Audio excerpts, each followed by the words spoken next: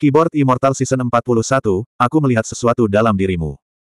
Terlalu banyak hal yang terjadi baru-baru ini. Klan Chu telah menderita segala macam kemalangan, dan Zuan telah terseret ke dalam konspirasi besar. Dia hampir kehilangan nyawanya. Dia terus-menerus di bawah tekanan, dan pikirannya tidak punya waktu untuk bersantai. Bahkan tadi malam, ketika keadaan akhirnya tenang dan dia mencoba untuk tidur, dia masih terbangun di tengah malam. Dia masih diburu, bahkan dalam mimpinya. Hanya sekarang, berkat Zeng Dan yang menghujaninya dengan kelembutan dan kasih sayang, emosi negatif ini akhirnya bisa diredam. Zeng Dan sendiri tampak seperti bunga matahari yang baru saja dihancurkan oleh badai. Maaf, saya terlalu kasar, kata Zuan meminta maaf. Zeng Dan memberinya tatapan mengeluh. Kau baru menyadarinya. Dia mengenakan pakaiannya dan turun dari tempat tidur. Namun, kakinya tertekuk begitu dia berdiri. Zuan tersenyum sambil menawarkan tangan untuk membantu mendukungnya. Jangan pergi. Masih ada banyak waktu sebelum hari sekolah berakhir. Zeng dan merapikan rambutnya yang berantakan sambil berkata, begitu banyak orang melihatku pergi mencarimu lebih awal. Bukankah rumor akan menyebar jika aku tinggal terlalu lama? Setelah berada di dekatnya begitu lama, Zuan sangat mengenal sifatnya. Mereka bisa menjadi gila seperti yang mereka inginkan secara pribadi, tetapi dia peduli dengan citra publiknya, dan kehormatan klannya sendiri. Dia tidak akan pernah membiarkan noda sedikit pun mengotori salah satu dari ini. Mengetahui hal ini, dia tidak menekannya lebih jauh. Aku akan memberimu obat yang diinginkan Sang Hong di lain hari, kata Zuan. Dia tidak ingin Sang Qian pulih secepat itu. Zeng dan tersenyum manis. Tentu, aku benar-benar pergi sekarang. Dia menarik wajahnya ke arahnya sendiri dan menciumnya. Kemudian, dia pergi dengan semangat tinggi. Begitu dia berjalan melewati pintu masuk utama, bagaimanapun, kebahagiaannya langsung lenyap, digantikan oleh sikap anggunnya yang biasa. Tidak mungkin ada orang yang tahu bahwa dia baru saja mengalami sesuatu yang begitu liar. Zuan tidur sebentar, lalu mengunjungi Ji Dengtu setelah kelas selesai. Akan lebih mudah untuk mencari Ji Xiaoxi, tetapi sepertinya tidak pantas untuk bertanya kepada seorang gadis tentang masalah ini. Mata Ji Dengtu melebar saat mendengar permintaannya. Saya pernah mendengar tentang pil peningkat kinerja, tetapi saya belum pernah mendengar tentang pil impotensi. Fetis aneh macam apa yang kamu miliki? Wajah Zuan menjadi gelap. Berhenti membuang waktuku. Apakah Anda memilikinya atau tidak? Ji Dengtu bersandar ke kursi malasnya dan perlahan bergoyang ke depan dan ke belakang. Dia melambaikan tangannya dengan acuh tak acuh. Enggak, saya hanya menyelamatkan orang. Mengapa saya membuat sesuatu yang bodoh seperti itu? Petik 2. Hati Zuan tenggelam. Saya akan membayar ekstra. Mata Ji Dengtu berbinar, dan tanpa sadar dia meluruskan tubuhnya. Namun, setelah sedikit ragu, dia bersandar ke kursi lagi. Berhentilah mencoba menggodaku. Mengingat cara saya dibesarkan, saya tidak akan pernah melakukan hal seperti ini. Kamu melihat orang yang salah. Zuan diam-diam mengeluarkan sebuah buku. Bagian dua dari cerita sebelumnya. Murid Ji Dengtu berkontraksi, dan ekspresinya menjadi serius. Zuan mengira dia akan marah, tetapi senyum lebar malah mengembang di wajahnya. Dia meraih buku itu dan berkata, saya tahu saya melihat sesuatu di dalam dirimu. Zuan menatapnya, terdiam. Jideng Tu membolak-balik buku itu, melemparkan botol hijau kecil ke arahnya. Tiga tetes, dan itu akan melakukan apa yang Anda inginkan. Zuan sangat menyukai keterus-terangan ini. Apakah efeknya permanen? Jangan bilang bahwa korban akan pulih setelah beberapa saat. Jideng Tu jelas tidak senang dengan pertanyaannya. Apakah kamu meragukan kemampuanku? Bagaimana obat Jideng Tu bisa kehilangan efeknya? Tentu saja itu permanen. Keterampilan saya tak tertandingi. Petik 2. Zuan memberinya tatapan curiga. Apa yang kamu rencanakan dengan obat seperti itu? Wajah Jideng Tu menjadi merah. Dia berkata dengan marah, tentu saja itu untuk penelitian. Apakah Anda pikir saya akan mengambilnya sendiri? Petik 2. Zuan memiliki ekspresi aneh di wajahnya. Jangan bilang kamu membuatnya untuk ayah mertuaku. Jelas, Obsesi pria ini terhadap Qin Wanru memberinya alasan yang cukup untuk dicurigai. Apakah aku terlihat seperti orang seperti itu? Hati nurani Ji Tu jelas bersalah. Pergi, keluar, berhenti mengganggu saya. Saya ingin membaca buku ini. Hah, mengapa Anda membutuhkan tisu jika Anda hanya membaca buku? Kaulah yang menulis buku-buku ini. Apakah kamu tidak memiliki kesadaran diri sama sekali? Zuan langsung kembali ke Chu Estate setelah meninggalkan Ji Estate. Dia melaporkan tawaran Sang Hong kepada Qin Wanru. Qin Wanru bingung apa yang harus dilakukan ketika dia pertama kali melihatnya, tetapi dia segera menjadi gelisah ketika dia mendengar apa yang dia katakan. Sang Hong, kamu orang yang tercela. Anda benar-benar berkomplot melawan Zongtian bahkan saat dia di penjara. Petik 2. Nada bicara Zuan sangat serius. Memang. Kami melaporkan pemulihan izin garam yang hilang beberapa waktu yang lalu, jadi mereka seharusnya sudah melepaskan ayah mertua sejak lama. Sang Hong pasti melibatkan dirinya di belakang layar. Itu sebabnya saya tidak punya pilihan selain setuju. Kami hanya bisa mendiskusikan hal-hal dengan ayah mertua setelah kami menyelamatkannya. Petik 2. Ah Su, terima kasih atas semua yang telah kamu lakukan untuk Lancu. Aku, aku bahkan tidak tahu bagaimana harus berterima kasih. Ekspresi Qin Wanru sangat bertentangan. Aku hanya melakukan tugasku. Zuan terkekeh.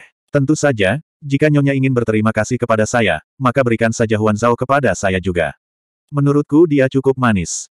Qin Wanru sejenak linglung, setelah itu wajahnya menjadi merah seluruhnya. Dia mengambil kemoceng di dekatnya dan mulai memukul Zuan. Bocah sialan, beraninya kamu benar-benar memikirkan hal seperti itu. Anda telah berhasil mengendalikan Qin Wanru selama 66. 66. 66. Zuan menghindari pukulannya, memohon padanya sepanjang jalan. Oh, oh, aku hanya bercanda. Nyonya, bagaimana Anda bisa menganggapnya serius? Petik 2. Keduanya berlari berputar-putar di dalam ruangan. Para penjaga di luar saling memandang dengan cemas. Apa yang sedang terjadi? Mengapa Nyonya memukul tuan muda? Kau hanya tidak mengertikan. Tingkah laku mereka sangat tidak terkendali karena mereka sudah semakin dekat. Itu menjelaskannya, kalian benar-benar telah melihat semuanya. Setelah beberapa saat, mereka berdua akhirnya menghentikan pengejaran kecil mereka. Qin Wanru terengah-engah, dadanya naik turun dengan berat. Dia masih belum pulih dari cedera serius, dan semua aktivitas ini jelas membuatnya lelah.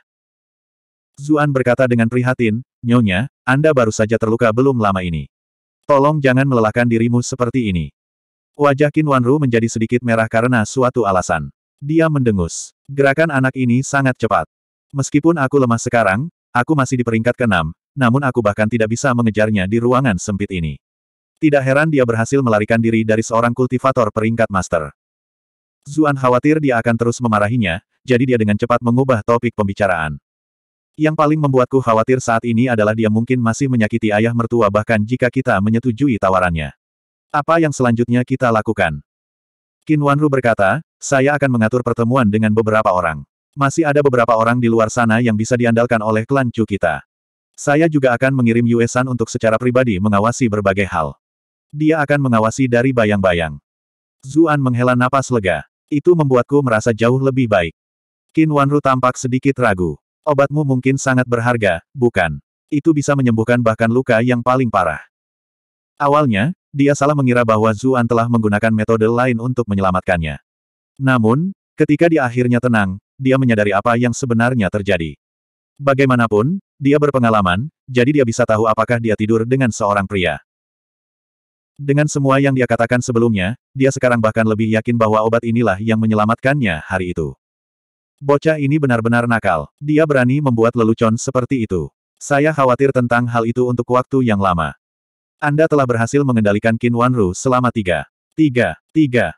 Zuan tercengang. Bukankah kamu baru saja berterima kasih padaku? Kenapa sekarang kamu marah? Juga, tidak bisakah kamu menjadi sedikit lebih marah jika kamu akan marah sama sekali? Jumlah ini sama sekali tidak berguna.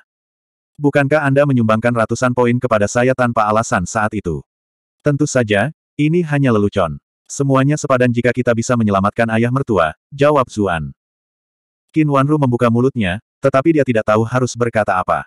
Pada akhirnya, dia hanya bisa berkata, terima kasih. Beberapa hari berlalu, ketika Qin Wanru telah membuat pengaturan yang diperlukan dengan penjara, Zuan menghubungi Zheng Dan. Zheng Dan secara pribadi datang untuk mengundang Zuan. Zuan melihat kereta, dan langsung masuk. Kamu tidak naik tandu hari ini. Apakah karena lebih mudah bagiku untuk naik kereta? Zheng Dan tersipu. Dia menurunkan tirai dan dengan cepat berkata, kita akan langsung ke Sang Istet. Anda sebaiknya tidak main-main. Petik 2. Bab 402, Anda harus memanggil saya paman.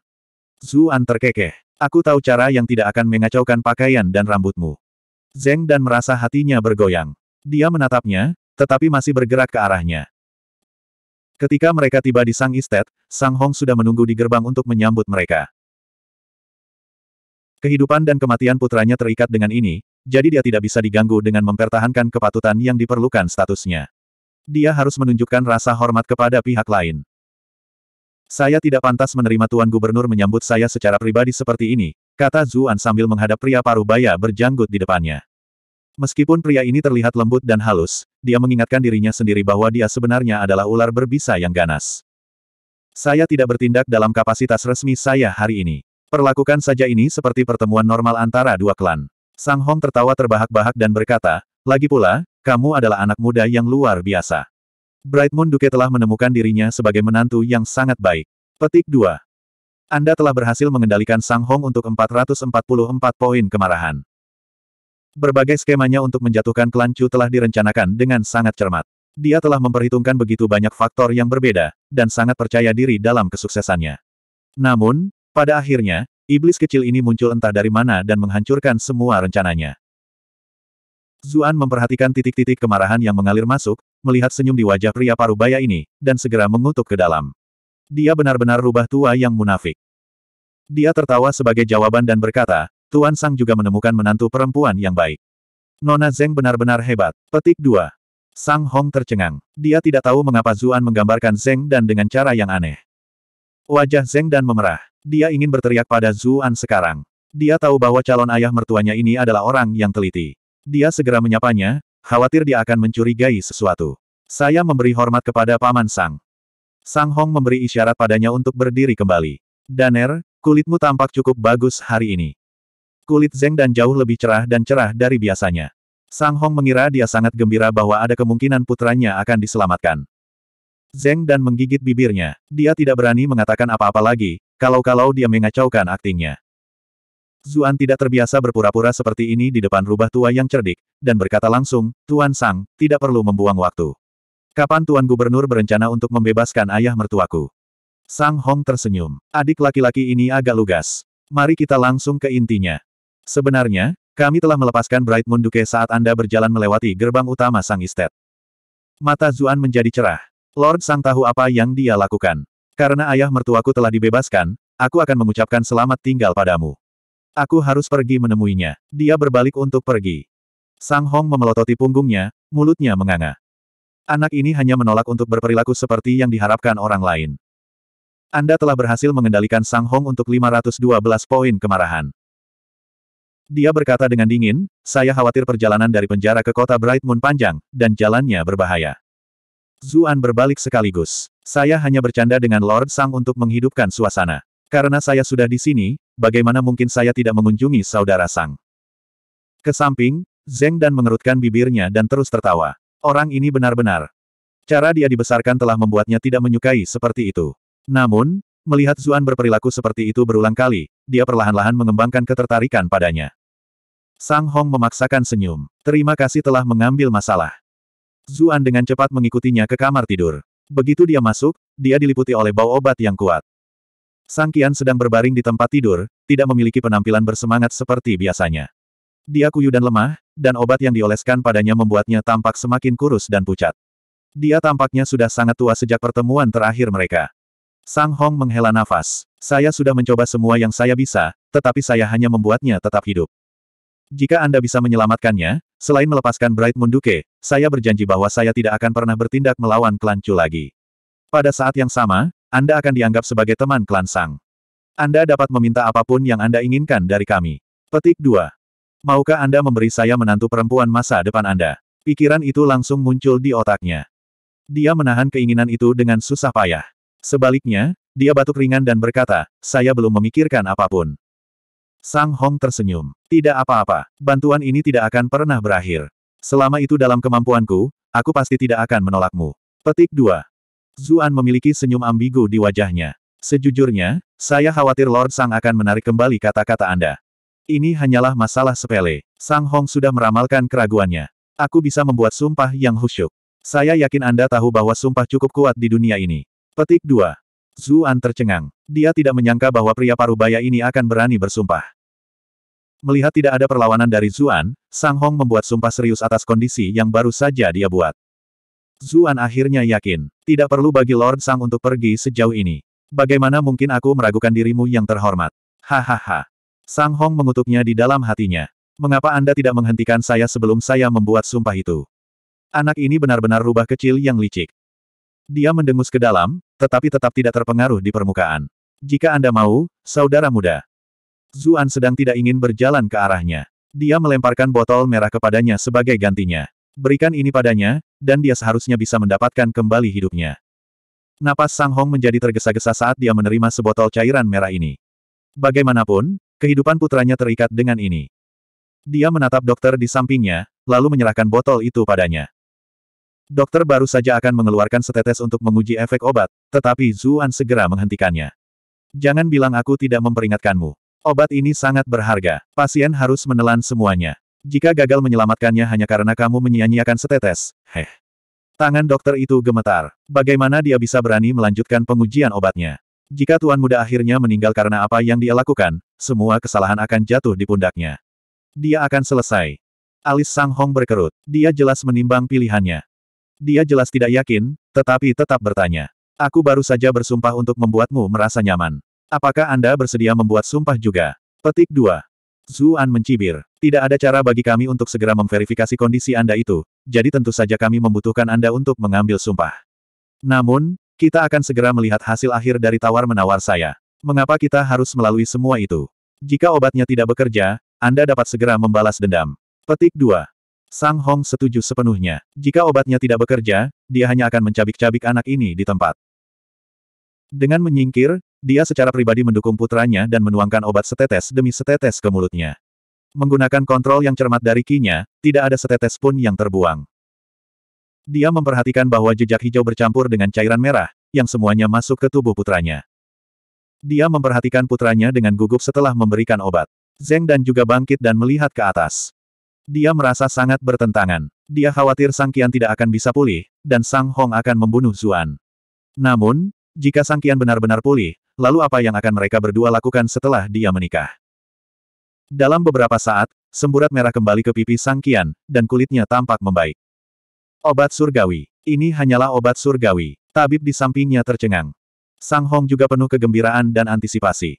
Lengannya bahkan gemetar di lengan bajunya. Kianer, Kianer. Beberapa saat kemudian, Sang Qian membuka matanya. Ayah. Dia jelas-jelas bergantung pada seutas kesadaran setelah dia terluka parah. Namun, itu tidak cukup baginya untuk sepenuhnya sadar.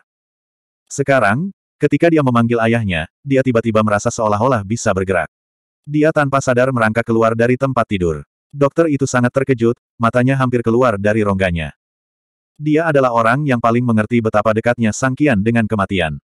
Namun sekarang, selain sedikit kelemahan, Sangkian tampak tidak berbeda dari orang normal. Dokter, bagaimana kondisi Kianer? Sang Hong menuntut segera.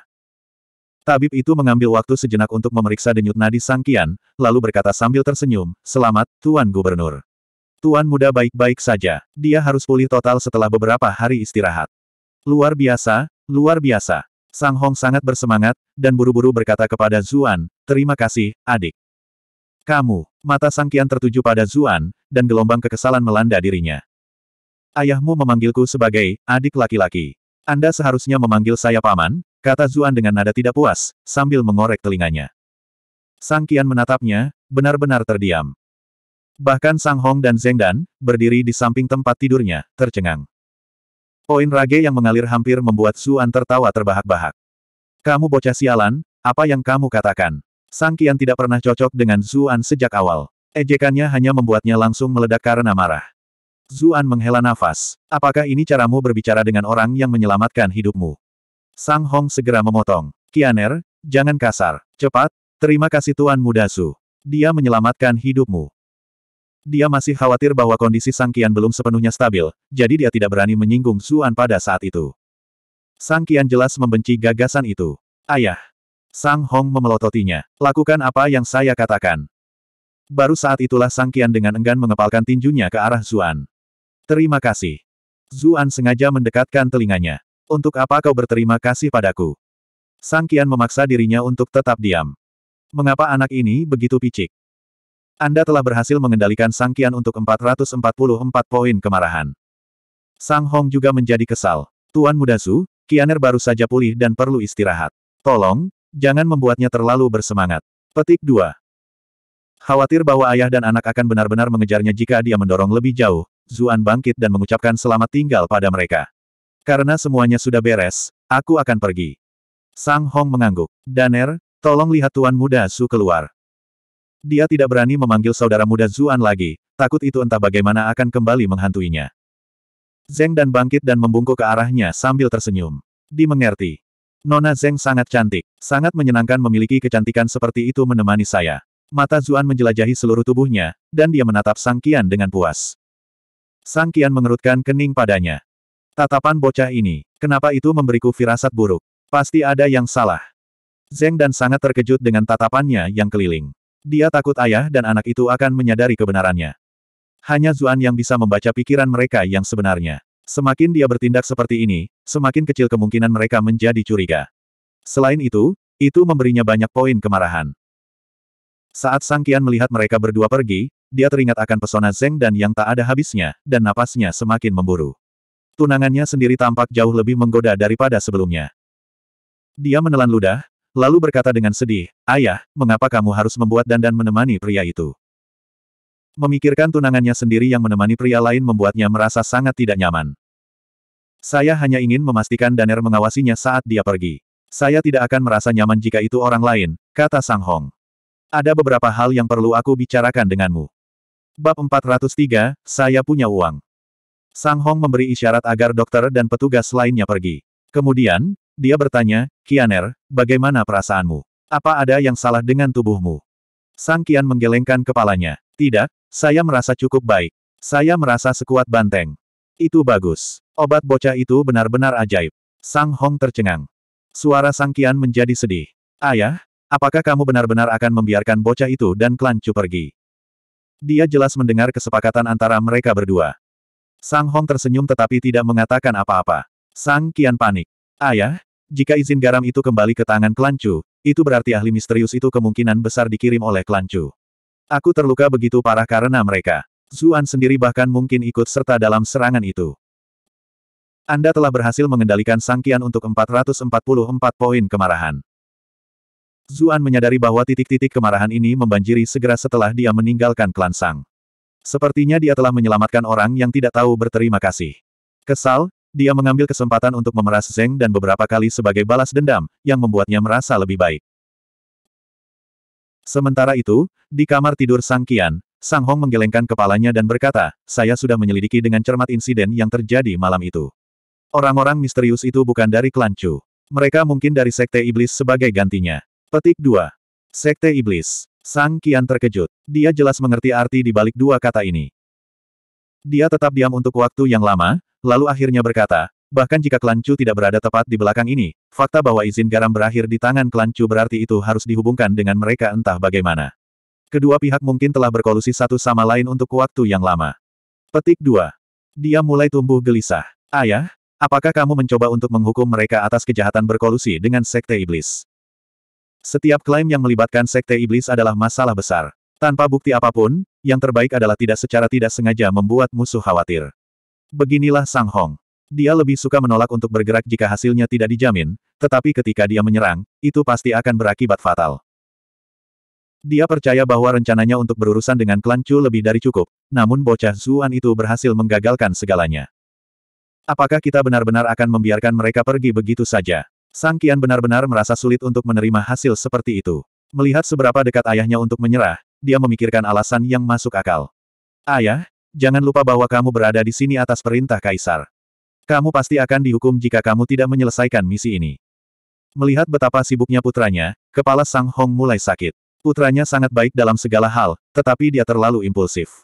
Jika dia memiliki kepala dingin dan kecerdasan adik perempuannya, Sang Hong tidak akan terlalu khawatir.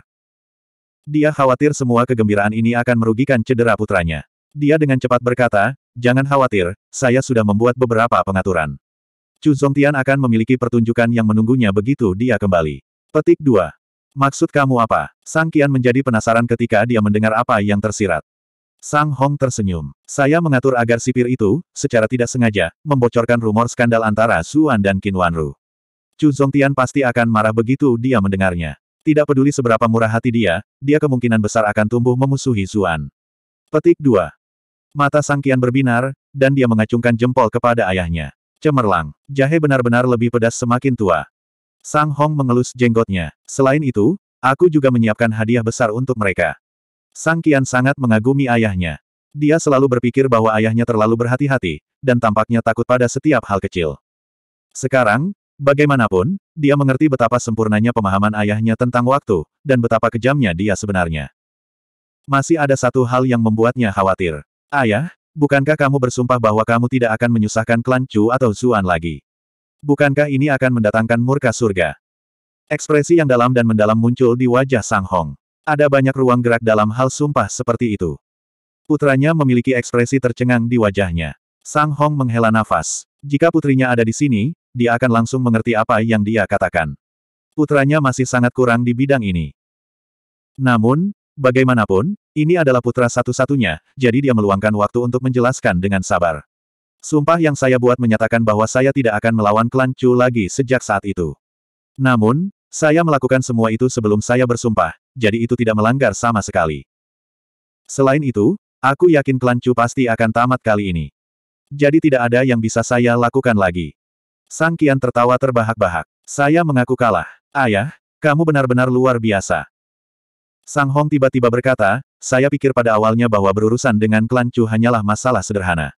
Namun, ada begitu banyak gangguan pada rencanaku, dan semuanya terkait dengan penampilan Zuan. Anak itu cukup berbakat. Setelah klan Chu jatuh, saya sebenarnya tertarik untuk membawanya masuk. Jika Kianer dapat menerimanya, saya bahkan akan menjadikannya menantu saya. Senyum Sang Kian membeku seketika. Dia langsung keberatan. Ayah, bagaimana kamu bisa membuat lelucon seperti itu? Bagaimana bisa beberapa anjing kampung kotor dari jalanan layak menjadi saudara iparku? Adik perempuanku juga sangat cantik. Kenapa dia bisa jatuh cinta pada seseorang seperti dia? Petik 2. Sang Hong mengerutkan kening. Anda tidak bisa membiarkan diri Anda dibutakan oleh kebencian. Anda harus belajar melihat kekuatan musuh Anda juga. Petik 2. Sang Kian mendengus. Apa pun itu, aku tidak peduli. Aku tidak akan pernah mengakui saudara ipar seperti dia. Adik perempuan memiliki begitu banyak pengagum di ibu kota. Mengapa dia membutuhkan seseorang seperti dia? Selain itu, dia sudah menjadi menantu kelancu. Sang Hong tertawa. Kamu memang masuk akal. Kami akan berbicara lebih banyak tentang ini nanti. Jika kecurigaanku benar, dia mungkin juga tidak akan setuju. Ngomong-ngomong, mari selesaikan pernikahanmu dengan Nona Zeng selama beberapa hari ke depan. Hampir semuanya sudah disiapkan. Kami ingin ini menjadi pertanda untuk mengusir nasib buruk, karena kondisi Anda masih sangat tidak stabil. Namun, sekarang setelah kamu lebih baik, kita bisa mengubah pernikahan ini menjadi perayaan sebagai gantinya. Dalam pikiran Sang Hong, Zeng dan benar-benar adalah bintang keberuntungan klan Sang. Ini terjadi hanya sebagai tahayul untuk mengusir nasib buruk, tetapi mereka akhirnya benar-benar berhasil melewati cobaan ini. Putranya telah pulih. Dia ingin menyelesaikan pernikahan ini secepat mungkin, untuk memastikan keberuntungan ini diadakan. Mata Sang Qian berbinar. Baik. Zeng dan cantik dan anggun. Temperamennya yang pendiam dan konservatif selalu membuatnya terpesona. Dia ingin melahapnya sejak lama, tetapi dia tidak pernah membiarkannya menyentuhnya. Ini meninggalkannya dengan rasa gatal yang tidak tergores. Tidak bisakah dia melakukan apa pun yang dia inginkan dengannya begitu mereka menikah? Dia merasakan kegembiraan yang misterius ketika dia membayangkan dirinya menekan wanita anggun dan pendiam itu. Zuan kembali ke perkebunan Chu untuk melaporkan hasil negosiasinya dengan Sang Hong. Qin Wanru berkata dengan penuh semangat, menurut berita yang kami terima dari Yue San, Sung Tian telah dibebaskan. Dia akan pulang dalam beberapa hari. Saya mengucapkan selamat kepada Nyonya sebelumnya, kata Zuan sambil tersenyum. Nyonya belum banyak tidur beberapa hari terakhir ini. Anda akhirnya bisa beristirahat dengan tenang. Petik 2. Qin Wanru memberinya tatapan rumit. Semua ini berkatmu. Cuyan sama sekali tidak memilih orang yang salah. Pada saat yang sama, dia agak terkejut. Bukannya tidak terduga bagi Cuyan untuk memiliki penilaian yang sangat baik, tetapi mengapa Huan Zhao kecil selalu membual tentang betapa hebatnya dia juga. Itu tampak sangat aneh. Ngomong-ngomong, kapan Cuyan kembali? Zuan tidak bisa tidak bertanya. Mereka adalah pengantin baru, jadi mereka seharusnya tidak menghabiskan begitu banyak waktu untuk berpisah. Dia juga membungkus barang-barang di sisinya, jawab Qin Wanru. Dia seharusnya bisa kembali dalam sebulan atau lebih. Sebulan. Hati Zuan tenggelam. Dia harus tidur sendirian selama sebulan lagi. Zuan langsung menuju kediaman tanpa suara setelah meninggalkan ruang kerja. Dia sudah memindahkan semua barangnya. Old Mi sudah mati, jadi dia tidak perlu bertindak lagi. Dia hanya akan tidur di tempat tidur harum cucuyan. Tidak ada orang lain di perkebunan yang menganggap ini mengejutkan. Zuan telah melakukan banyak hal untuk klan kali ini, dan dia juga telah membuktikan kekuatannya. Tidak ada yang meragukan statusnya sebagai tuan muda lagi. Dia berbaring di tempat tidur Cucuyan dan mengangkat cermin rekaman yang dia pinjam dari Qin Wanru. Dia menelepon Cucuyan. Cermin itu segera terhubung ke pasangannya. Gambar kecantikan es muncul di permukaan. Siapa lagi ini selain Cucuyan? Cucuyan terkejut saat dia melihat bahwa itu adalah Zuan. Ah Su, Apakah sesuatu terjadi di klan? Di mana ibuku? Tidak ada yang salah sama sekali, semuanya sudah teratasi. Aku meminjam cermin ini dari ibumu. Saya merindukanmu istriku. Zuan mendekat ke cermin dan menciumnya. Wajah Cucuyan memerah. Aku akan segera kembali. Anda semua yang klan harus andalkan saat ini. Terima kasih. Jelas, Qin Wanru sudah memberitahunya tentang segalanya. Ya ampun, bukankah kamu memperlakukanku seperti orang luar? Tapi, Zuan mengubah topik pembicaraan dan berkata, jika Anda benar-benar ingin berterima kasih kepada saya, panggil saya suami yang baik. Panggil aku suamimu tersayang. Silahkan. Tidak gelombang, Cucuyan sangat pemalu, bagaimana dia bisa memaksa dirinya untuk mengatakan sesuatu seperti itu. Matanya segera menjadi fokus. Hem, di mana kamu saat ini? Kamarmu tentu saja. Zuan menyinari cermin dengan bangga. Lihat, aku sudah memindahkan semua barangku. Ah, wajah Cucuyan menjadi merah seluruhnya. Kalau begitu, bukankah semua orang di perkebunan tahu tentang kita?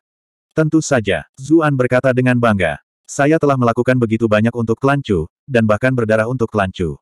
Semua orang di perkebunan Chu telah mengakui saya. Mereka dapat melihat bahwa kita adalah pasangan yang tepat sekarang. Huff, apa yang kamu katakan? Kami selalu pasangan yang tepat, kata Cucuyan dengan malu. Zuan terkekeh. Siapa yang terlalu malu untuk memberitahu orang lain sebelumnya? Wajah sedingin es Cucuyan menjadi merah seperti apel. Baiklah baiklah. Cermin rekaman menggunakan banyak batu ki. Tutup sudah. Aku tidak menutup telepon, aku punya uang. Cucuyan membenamkan wajahnya di telapak tangannya. Bab 404, Utusan Kekaisaran. Zuan menolak untuk mengakhiri panggilan, dan tetap melakukan panggilan video ini. Cucuyan akhirnya tidak tahan lagi dan berkata, kamu mungkin punya uang, tapi aku tidak punya cukup batu ki. Itu adalah satu hal jika dia benar-benar memiliki sesuatu yang penting untuk dikatakan, tetapi dia hanya mengobrol tentang kehidupan sehari-hari dengannya. Dia harus berhati-hati meskipun klan Cukaya. Melihat Cucuyan mulai cemas, Zuan berkata sambil tersenyum, Aku akan menutup telepon begitu kamu memanggilku suami terbaik. Saya tidak mengatakan itu. Saya bisa menutup telepon saya. Petik 2. Apakah kamu benar-benar akan menolak cinta suamimu tersayang? Cucuyan menggertakkan giginya tetapi tetap diam. Pada akhirnya, bagaimanapun, dia masih hancur di bawah gangguan konstannya. Kau, kau suami terbaik, katanya pelan. Zuan berseri-seri. Dia mendekatkan telinganya ke cermin. Apa katamu? Saya tidak bisa mendengar karena terlalu lembut. Bisakah Anda mengatakannya lebih keras? Petik 2. Mati. Wajah Cucuyan sepenuhnya merah. Dia tidak tahan lagi, dan memutuskan hubungan. Zuan terdiam. Obrolan video di dunia ini sebenarnya adalah hal yang sangat mewah. Dunia sebelumnya jauh lebih nyaman. Namun, kekuatan individu orang-orang di dunia ini memiliki potensi untuk menjadi begitu besar. Saya kira selalu ada pro dan kontra untuk semuanya. Zuan berbaring di tempat tidur dan memikirkan langkah selanjutnya. Dia tahu bahwa, meskipun orang-orang di luar klan mungkin tidak tahu tentang apa yang terjadi beberapa hari terakhir ini, tidak mungkin klan Wei tidak tahu. Meskipun begitu, tidak banyak yang terjadi beberapa hari terakhir ini. Ini mungkin ketenangan sebelum badai. Dia sebenarnya merasa sedikit menyesal. Bagaimanapun, Wei Dan adalah kakek angkat Wei Su. Meskipun Wei Dan tidak mati di tangannya, dia masih terlibat dalam peristiwa seputar kematiannya. Namun, yang mengejutkannya adalah Wei Su tidak terlihat sedih sama sekali. Pada saat dia bertemu dengannya di akademi, sepertinya tidak ada yang berubah untuknya. Mungkin identitas Wei dan sangat rahasia sehingga tidak banyak orang di klan Wei yang tahu banyak tentang dia. Ada juga Sang Hong untuk dipertimbangkan. Meskipun dia telah bersumpah, Zuan tahu bahwa rubah tua tidak akan membiarkan masalah begitu saja. Meningkatkan kekuatannya sendiri masih merupakan hal yang paling penting. Sayangnya, dia belum mengembangkan kemampuan elemental setelah mencapai peringkat kelima. Jika dia bisa membangkitkan kemampuan elemen api, maka kecepatan kultivasinya akan meningkat secara drastis. Mengandalkan poin rage saja terlalu lambat. Dia juga harus memikirkan Qiu Honglei. Dia telah mengunjungi Immortal Abode lagi, tetapi masih belum ada tanda-tanda dia. Seolah-olah dia menghilang ke udara tipis. Dia tiba-tiba dipukul dengan gelombang rasa bersalah. Dia melihat sekelilingnya, dan kemudian dia bergumam, istriku yang cantik, bukan karena aku mencari gadis lain. Tempat tidurmu sangat harum, dan aku tidak bisa mengendalikan imajinasiku sendiri. Dua hari kemudian, Chu Zongtian akhirnya kembali. Seluruh perkebunan Chu didekorasi dengan dekorasi meriah untuk menyambut kepulangannya. Seluruh klan dipenuhi dengan kegembiraan dan keaktifan. Chu Zongtian terlihat jauh lebih kurus dari sebelumnya.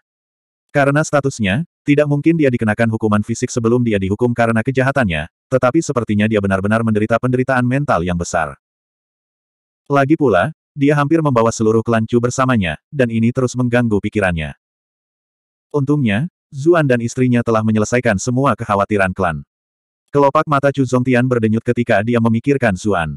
Dia mengingat diskusi yang dilakukan para sipir saat dia berada di penjara. Meskipun mereka sudah cukup jauh, bagaimana percakapan mereka bisa lolos dari telinga seorang kultivator peringkat delapan? Apakah Anda semua tahu bahwa ada beberapa pergolakan internal yang terjadi di dalam klan Chu? Aku pernah mendengar tuan muda bernama Zuan atau apa pun yang benar-benar mengacaukan Qin Wanru. Mereka ditangkap oleh tuan kedua Chu. Petik 2. Bukankah mereka mengatakan bahwa dia memaksakan dirinya ke Nyonya Chu? Kamu terlalu naif. Itu pasti cerita yang akan diceritakan klan Chu kepada orang luar. Namun, seorang gadis pelayan mengatakan bahwa mereka berdua sudah dekat bahkan sebelum itu. Jika Nyonya Chu tidak memberinya izin, akankah tuan muda benar-benar kehilangan akal sehatnya dan mencoba sesuatu sendiri? Tidak mengherankan bahwa hal-hal kotor seperti itu terjadi di dalam klan besar ini. Sejujurnya, saya cukup iri dengan teman Suan itu. Saya mendengar bahwa nona pertama Chu adalah kecantikan yang luar biasa, tetapi dia bahkan berhasil mendapatkan Nyonya Chu yang cantik juga. Dia merasakan ibu dan anak perempuannya. Keberuntungannya dengan wanita benar-benar sesuatu yang luar biasa. Petik 2.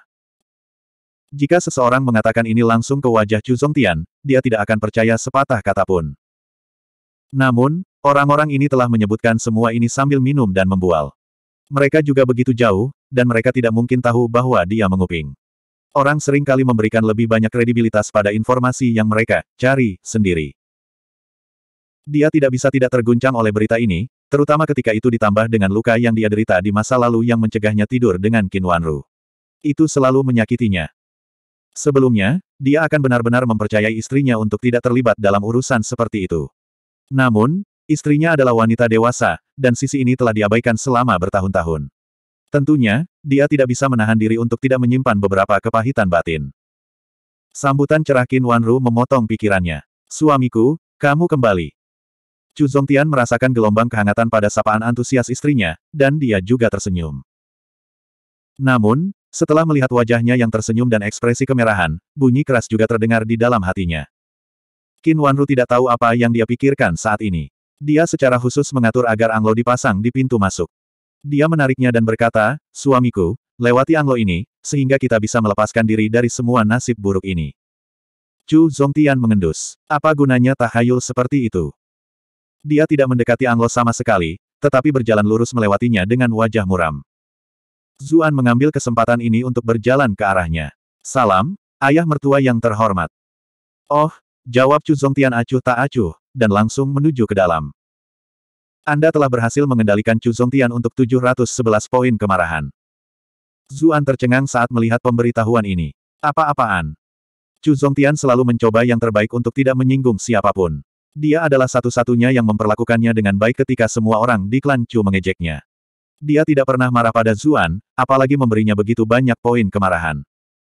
Ayah, ada apa? Chu Huanzhao juga tidak pergi ke akademi, sehingga dia bisa menyambut ayahnya pulang. Tidak apa, Huanzhao masih yang paling patuh. Chu Zongtian tersenyum penuh pengertian ketika dia melihat putrinya. Sayangnya, putrinya sudah dewasa, jadi dia tidak bisa mengangkatnya dan menggendongnya seperti sebelumnya. Qin Wanru berjalan ke sisi Zuan dan berkata pelan, Ah Zu, tidakkah menurutmu ayah mertuamu bertingkah aneh? Pasti, jawab Zuan. Percakapan mereka tidak luput dari telinga Chu Zongtian. Dia tahu betapa istrinya tidak menyukai Zuan sebelum dia dipenjara, namun mereka berdua tiba-tiba tampak begitu dekat. Mungkinkah mereka berdua benar-benar terlibat dalam sesuatu yang memalukan? Anda telah berhasil mengendalikan Chu Zongtian selama 110. 110. 110. Dia mungkin bisa menepis poin kemarahan sebelumnya, tetapi Zuan tidak berani mengabaikan poin ini. Pasti ada sesuatu yang salah. Pikirannya bergerak cepat, dan dia tersadar bahwa banjir poin kemarahan ini baru dimulai ketika Qin Wanru mendekatinya. Dia segera menyadari apa yang sedang terjadi, dan dengan cepat mengirim pesan kepada Qin Wanru melalui transmisi Qi. Wajah Qin Wanru segera menjadi merah ketika dia mendengar kata-katanya. Jadi itulah yang dikhawatirkan suaminya. Tidak heran dia bertingkah sangat aneh. Dia dengan cepat menghentikan upacara penyambutan dan menyeret Chu Zongtian ke ruang kerja untuk berbicara. Huff, Sepertinya pendapatmu tentang Zuan telah berubah cukup cepat, kata Chu Zongtian masam. Qin Wanru mendengus. Apa yang akan aku lakukan denganmu? Apa sih yang Anda mengisi kepala Anda dengan? Saya membawa Anda ke sini hanya untuk memberitahu Anda bahwa itu bukan yang Anda pikirkan. Petik 2. Dia segera menceritakan semua yang terjadi malam itu dengan sangat rincin. Chu Zongtian pada dasarnya adalah orang yang baik dan benar. Ini, bersama dengan kasih sayang yang mendalam yang telah dia bagikan dengan istrinya selama bertahun-tahun, membantu menghilangkan keraguannya yang terakhir. Ketika keduanya keluar dari ruang kerja lagi, dia sudah mengubur kapak. Chu Zongtian segera meminta maaf kepada Zuan. Ah Su, kami harus berterima kasih banyak untuk beberapa hari terakhir ini. Zuan terkekeh. Aku senang selama ayah mertuaku tidak membenciku. Wajah Chu Zongtian menjadi merah. Ini salahku karena begitu kacau. Memikirkan kembali, itu mungkin hanya salah satu skema Sang Hong. Orang itu benar-benar licik dan kejam. Anda jatuh ke dalam perangkapnya bahkan sebelum Anda menyadarinya. Chu Huanzhao bingung. Apa yang kamu bicarakan? Tidak ada. Chu Zongtian dan Qin Wanru berkata serempak. Kalian sangat aneh. Chu Huanzhao bergumam. Perhatiannya dengan cepat beralih ke tempat lain. Ayah, kami telah menyiapkan perayaan besar ini untuk Anda. Datang ke sini. Seluruh klan Chu dibanjiri dengan kegembiraan dan kebahagiaan selama beberapa hari ke depan. Sayangnya, kebahagiaan ini berumur pendek.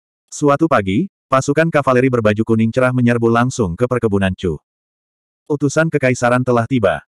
Bab 405, balas dendam untuk ayahku, dan balas dendam untuk istriku yang dicuri. Semua orang di kota sedang berdiskusi tentang apa yang sedang terjadi. Bagaimanapun, penampilan begitu banyak pasukan kavaleri lapis baja kuning terlalu mengejutkan. Di dunia ini, warna kuning digunakan hampir secara eksklusif oleh kaisar. Itulah sebabnya meskipun hampir tidak ada seorang pun di Bright Moon City yang pernah melihat pengawalan bersenjata seperti ini sebelumnya, mereka masih langsung tahu bahwa kelompok tentara ini pasti bertindak di bawah perintah kaisar.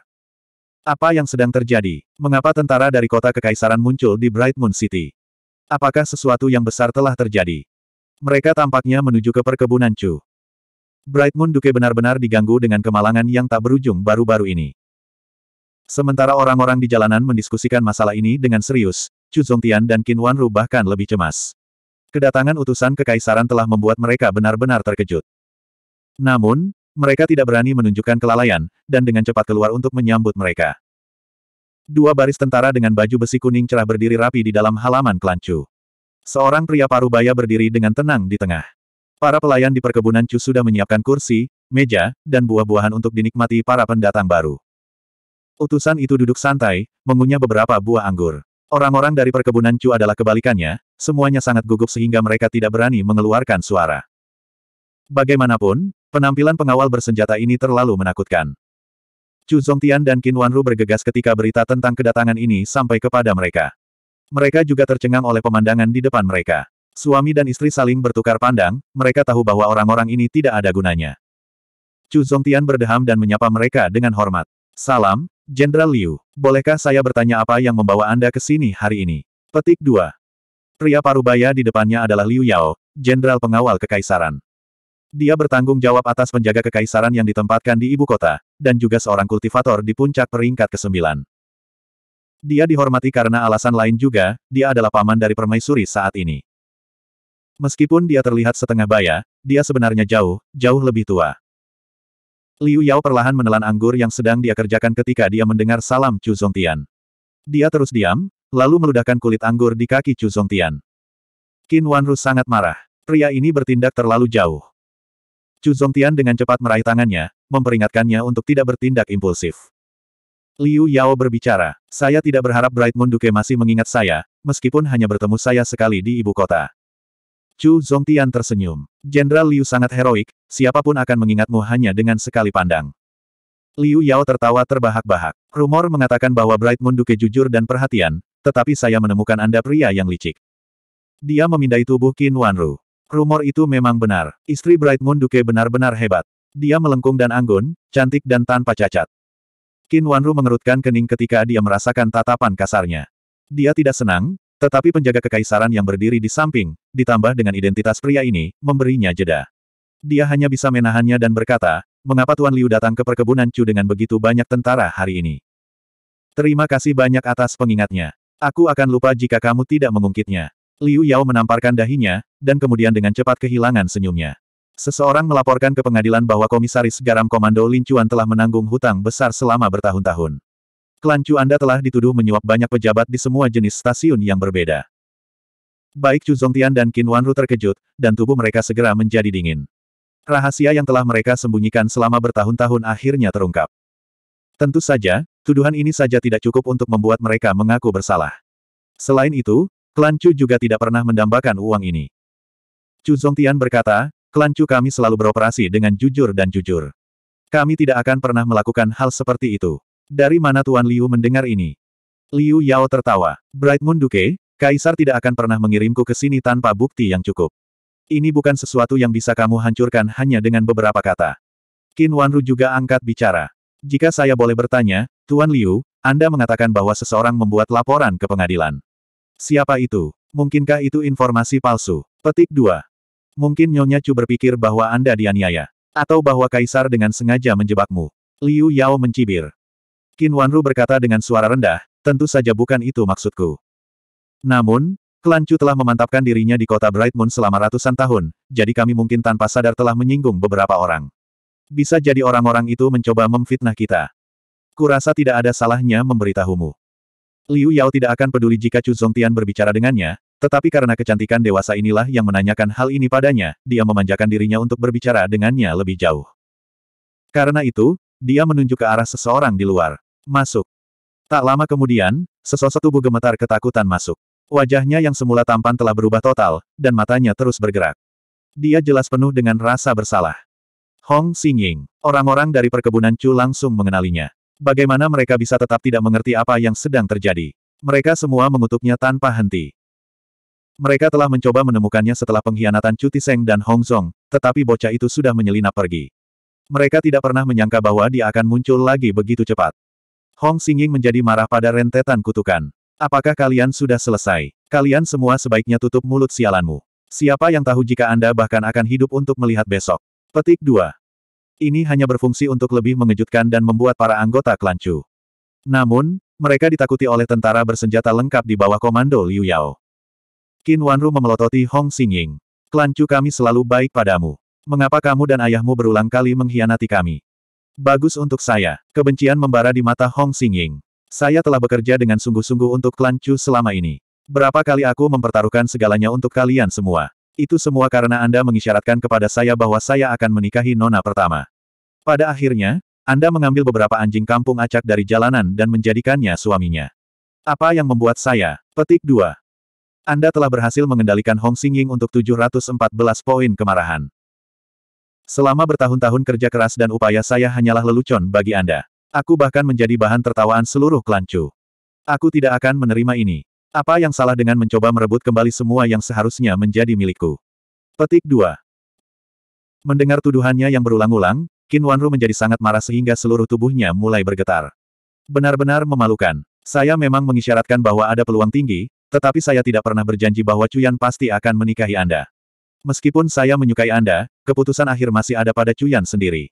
Dia tidak memilih Anda, tetapi memilih Asus sebagai gantinya. Apa yang mungkin telah saya lakukan? Saya juga berpikir bahwa dia telah membuat pilihan yang buruk pada awalnya, tetapi sekarang, saya sangat senang bahwa Cuyan tidak memilih serigala yang menjijikkan seperti Anda. Itu akan menjadi bencana besar bagi klan Chu kita. Hong Xingying tertawa terbahak-bahak. Apa gunanya mengatakan semua ini sekarang? Aku pasti akan merebut kembali semua yang hilang dengan tanganku sendiri. Cucuyan akan tetap menjadi milikku pada akhirnya. Satu-satunya penyesalan saya adalah Zuan telah mengalahkan saya terlebih dahulu. Anda telah berhasil mengendalikan Hong Xingying untuk 999 poin kemarahan. Apa pun, masih ada miss kedua. Saya akan memastikan untuk mengambil semua yang tidak bisa saya dapatkan dari kehilangan pertama dari adik perempuannya. Kesal dengan tampilan ini, Liu Yao mendorongnya ke samping. Apakah kamu sudah selesai mengoceh? Siapa yang mau mendengar semua omong kosong yang menjengkelkan itu? Apakah Anda yang bertanggung jawab atau saya? Petik 2. Kemarahan melintas di mata Hong Xingying, tetapi jelas bahwa ini jelas bukan seseorang yang bisa dia sakiti.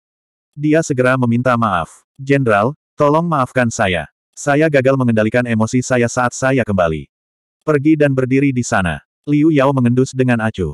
Dia berbalik untuk melihat pasangan suami istri yang memimpin klan Chu. Apakah kalian berdua yakin sekarang? Chu Zongtian berkata dengan suara berat, kami tidak. Semua orang tahu bahwa Hong Xingying menyimpan kebencian yang mendalam terhadap klan Chu kami. Ayahnya bahkan mengobarkan pemberontakan belum lama ini, dan dieksekusi karenanya. Bagaimana kata-katanya dapat dipercaya dalam situasi seperti ini? Liu Yao tertawa. Jangan khawatir, Kaisar telah memerintahkan saya di sini untuk menyelidiki masalah ini sepenuhnya. Lagi pula, masalah ini tidak hanya menyangkut kelancu, tetapi juga memiliki implikasi untuk banyak subjek penting di pengadilan. Petik 2. Senyumnya memudar, dan dia memberi perintah kepada pasukannya. Tangkap semua orang di perkebunan ini. Kami akan mendaftarkan setiap orang. Jangan biarkan satu pun pergi. Petik 2. Mata Hong Xingying berbinar. Dia menawarkan diri dan berkata, saya akan memimpin jalan. Saya akrab dengan kelancu dan saya tahu semua orang. Petik 2. Hal pertama yang ingin dia lakukan adalah menangkap Zuan itu. Dia tidak hanya membencinya karena mencuri naksirnya, dia harus membalas dendam atas kematian ayahnya. Mata Zuan menyipit ketika dia melihat deretan notifikasi yang memberitahunya tentang perolehan poin Rage. Hong Xingying. Tiba-tiba, pintu kelas dibanting terbuka. Bab 406, kebenaran terungkap. Zuan terkejut. Dia baru saja akan memarahi orang yang berani bertindak begitu berani, tapi dia malah dihadapkan dengan wajah sedingin es. Kepala sekolah, Jiang. Semua siswa di kelas mengenalinya, dan mulai mengobrol di antara mereka sendiri. Beberapa siswa laki-laki bahkan bersiul dengan semangat. Wow, saya hanya melihat kepala sekolah beberapa kali di kampus. Aku tidak menyangka bisa sedekat ini dengannya hari ini. Kaki itu benar-benar terlalu banyak. Aku bisa mati sebagai pria bahagia jika aku bisa terjepit di antara kedua kaki itu sekali saja. Itu terlalu banyak informasi, kawan. Aku benar-benar tidak perlu mendengar tentang fetis anehmu. Bagi saya, saya hanya ingin sepasang stocking bekas. Hah, kamu benar-benar cabul di sini. Petik 2. Wajah Zuan menjadi gelap karena semua obrolan ini. Bukankah orang-orang ini menjadi sedikit terlalu sombong? Mereka mengira mereka sedang diam, tetapi dia bisa mendengar semuanya. Bahkan jika dia bisa mendengar mereka, bagaimana mereka bisa lolos dari telinga Jiang Luofu. Tanpa diduga, kepala sekolah tidak memperhatikan mereka sama sekali. Dia hanya berkata, kelas ini diubah menjadi belajar mandiri. Guru Zu, ikuti aku. Petik 2. Tanpa penjelasan lebih lanjut, dia segera menyeret Zuan keluar dari kelas. Ruang kelas langsung menjadi gempar. Sialan, Guru Zu bahkan mendapatkan kepala sekolah Jiang. Dia adalah legenda berdarah. Sudah berapa lama sejak dia pertama kali datang ke sini? Mengapa setiap gadis lajang dalam daftar wanita cantik teratas tampaknya ada hubungannya dengan dia? Apa yang istimewa dari dia, sih? Aku sama sekali tidak merasa dia lebih baik dariku. Heh, teruslah bermimpi. Dari apa yang saya dengar dari para peserta yang pergi ke ruang bawah tanah, Guru Su memiliki panjang. Siswa perempuan di kelas telah memandang siswa laki-laki dengan jijik, tetapi sedikit informasi ini membuat mereka semua menajamkan telinga. Apakah kamu serius? Mereka semua menutup mulut mereka karena terkejut ketika mendengar ini, dan wajah mereka menjadi sangat merah. Sementara itu, Zuan, yang telah diseret keluar dari kelas oleh Jiang Luofo, menikmati perasaan tangan lembutnya di sekelilingnya. Dia hanya bisa berkata, Kepala Sekolah Jiang, kamu tidak perlu terburu-buru. Anda bisa saja mengucapkan kata itu dan saya akan datang dengan tergesa-gesa. Menerobos masuk seperti itu di depan semua siswa lain pasti akan menimbulkan rumor yang tidak menarik. Bagaimanapun, saya seorang pria yang sudah menikah. Petik 2. Jiang Luofu tidak memiliki kesabaran untuk omong kosongnya. Bisakah kamu melakukan sesuatu tentang mulut sampahmu itu? Sesuatu yang besar terjadi pada Klancu, dan kamu masih di sini bermain-main. Petik 2. Ekspresi Zuan langsung membeku. Sesuatu terjadi pada Klancu. Apa yang terjadi? Bukankah mereka baru saja menyelesaikan kegagalan besar itu belum lama ini? Bahkan Chu Zongtian telah kembali. Apalagi yang bisa salah? Jiang Luofu memiliki ekspresi serius. Pagi ini, Jenderal Pengawal Kekaisaran memimpin kontingen kavaleri ke kota dan langsung menuju Klancu. Mereka tampaknya sedang menyelidiki akumulasi kerugian yang ditimbulkan oleh Komisaris Garam dan Suap Klancu. Petik 2. Dia memberinya penjelasan kasar tentang status dan kekuatan Liu Yao, serta pentingnya kavaleri lapis baja kuning. Ekspresi Zuan berkedip saat dia mendengarkan. Dia akhirnya mengerti apa yang terjadi. Ini pasti salah satu skema Sang Hong. Jiang Luofu melanjutkan, mereka mengejar orang-orang dari klan Chu satu demi satu dan menangkap mereka sekarang, jadi mereka mungkin akan segera datang. Saya menyarankan Anda untuk bersembunyi dulu. Bawa nona kedua Chu bersamamu juga. Petik 2. Baik, terima kasih kepala sekolahmu. Zuan berkata dengan serius. Jangan menyebutkannya. Kami cukup berteman sekarang. Selain itu, klan Chu selalu memiliki hubungan yang baik dengan akademi. Meskipun hanya ada begitu banyak yang bisa saya lakukan, saya akan tetap melakukan apa pun yang saya bisa. Jiang Luofu berhenti. Benar, apakah kamu punya tempat untuk bersembunyi? Zuan ragu-ragu. Satu-satunya tempat mungkin adalah Gunung Naga tersembunyi. Tempat persembunyian lama geng paus tidak buruk, karena cukup tersembunyi. Gua Naga Merah adalah pilihan yang layak juga. Namun, jika mereka pergi ke sana, dia tidak akan memiliki banyak akses ke berita di kota. Jiang Luofu berkata, gunung bukanlah pilihan yang baik, karena berbagai alasan. Anda mungkin juga terus tinggal di kediaman staf. Petik 2. Zuan ragu-ragu. Bukankah itu akan membawa lebih banyak masalah bagi akademi? Jangan khawatir, akademi selalu menikmati status yang dihormati. Bahkan Jenderal Liu Yao tidak akan berani menerobos masuk tanpa alasan, kata Jiang Luofu. Tentu saja, kamu dan Huan Zhao tidak bisa keluar dan berkeliaran. Akan sulit bagiku untuk menyembunyikan kalian berdua jika itu terjadi. Terima kasih banyak, kepala sekolah yang cantik.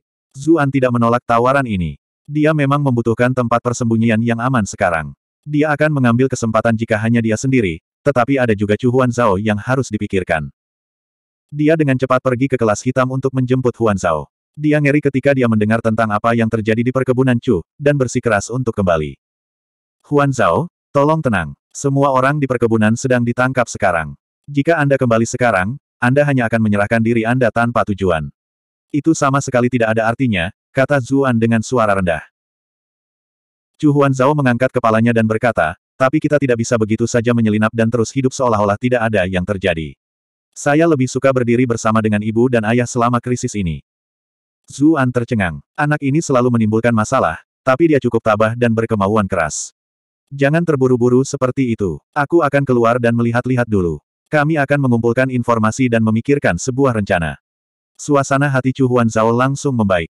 Dia mengaitkan lengannya di lehernya dan berkata, kakak ipar adalah yang terbaik. Jika Anda akan melakukan sesuatu tentang hal itu, saya yakin semuanya akan baik-baik saja. Zuan tersenyum pahit. Dia tidak tahu mengapa Huan Zhao sangat percaya padanya. Dia bahkan tidak terlalu percaya diri kali ini.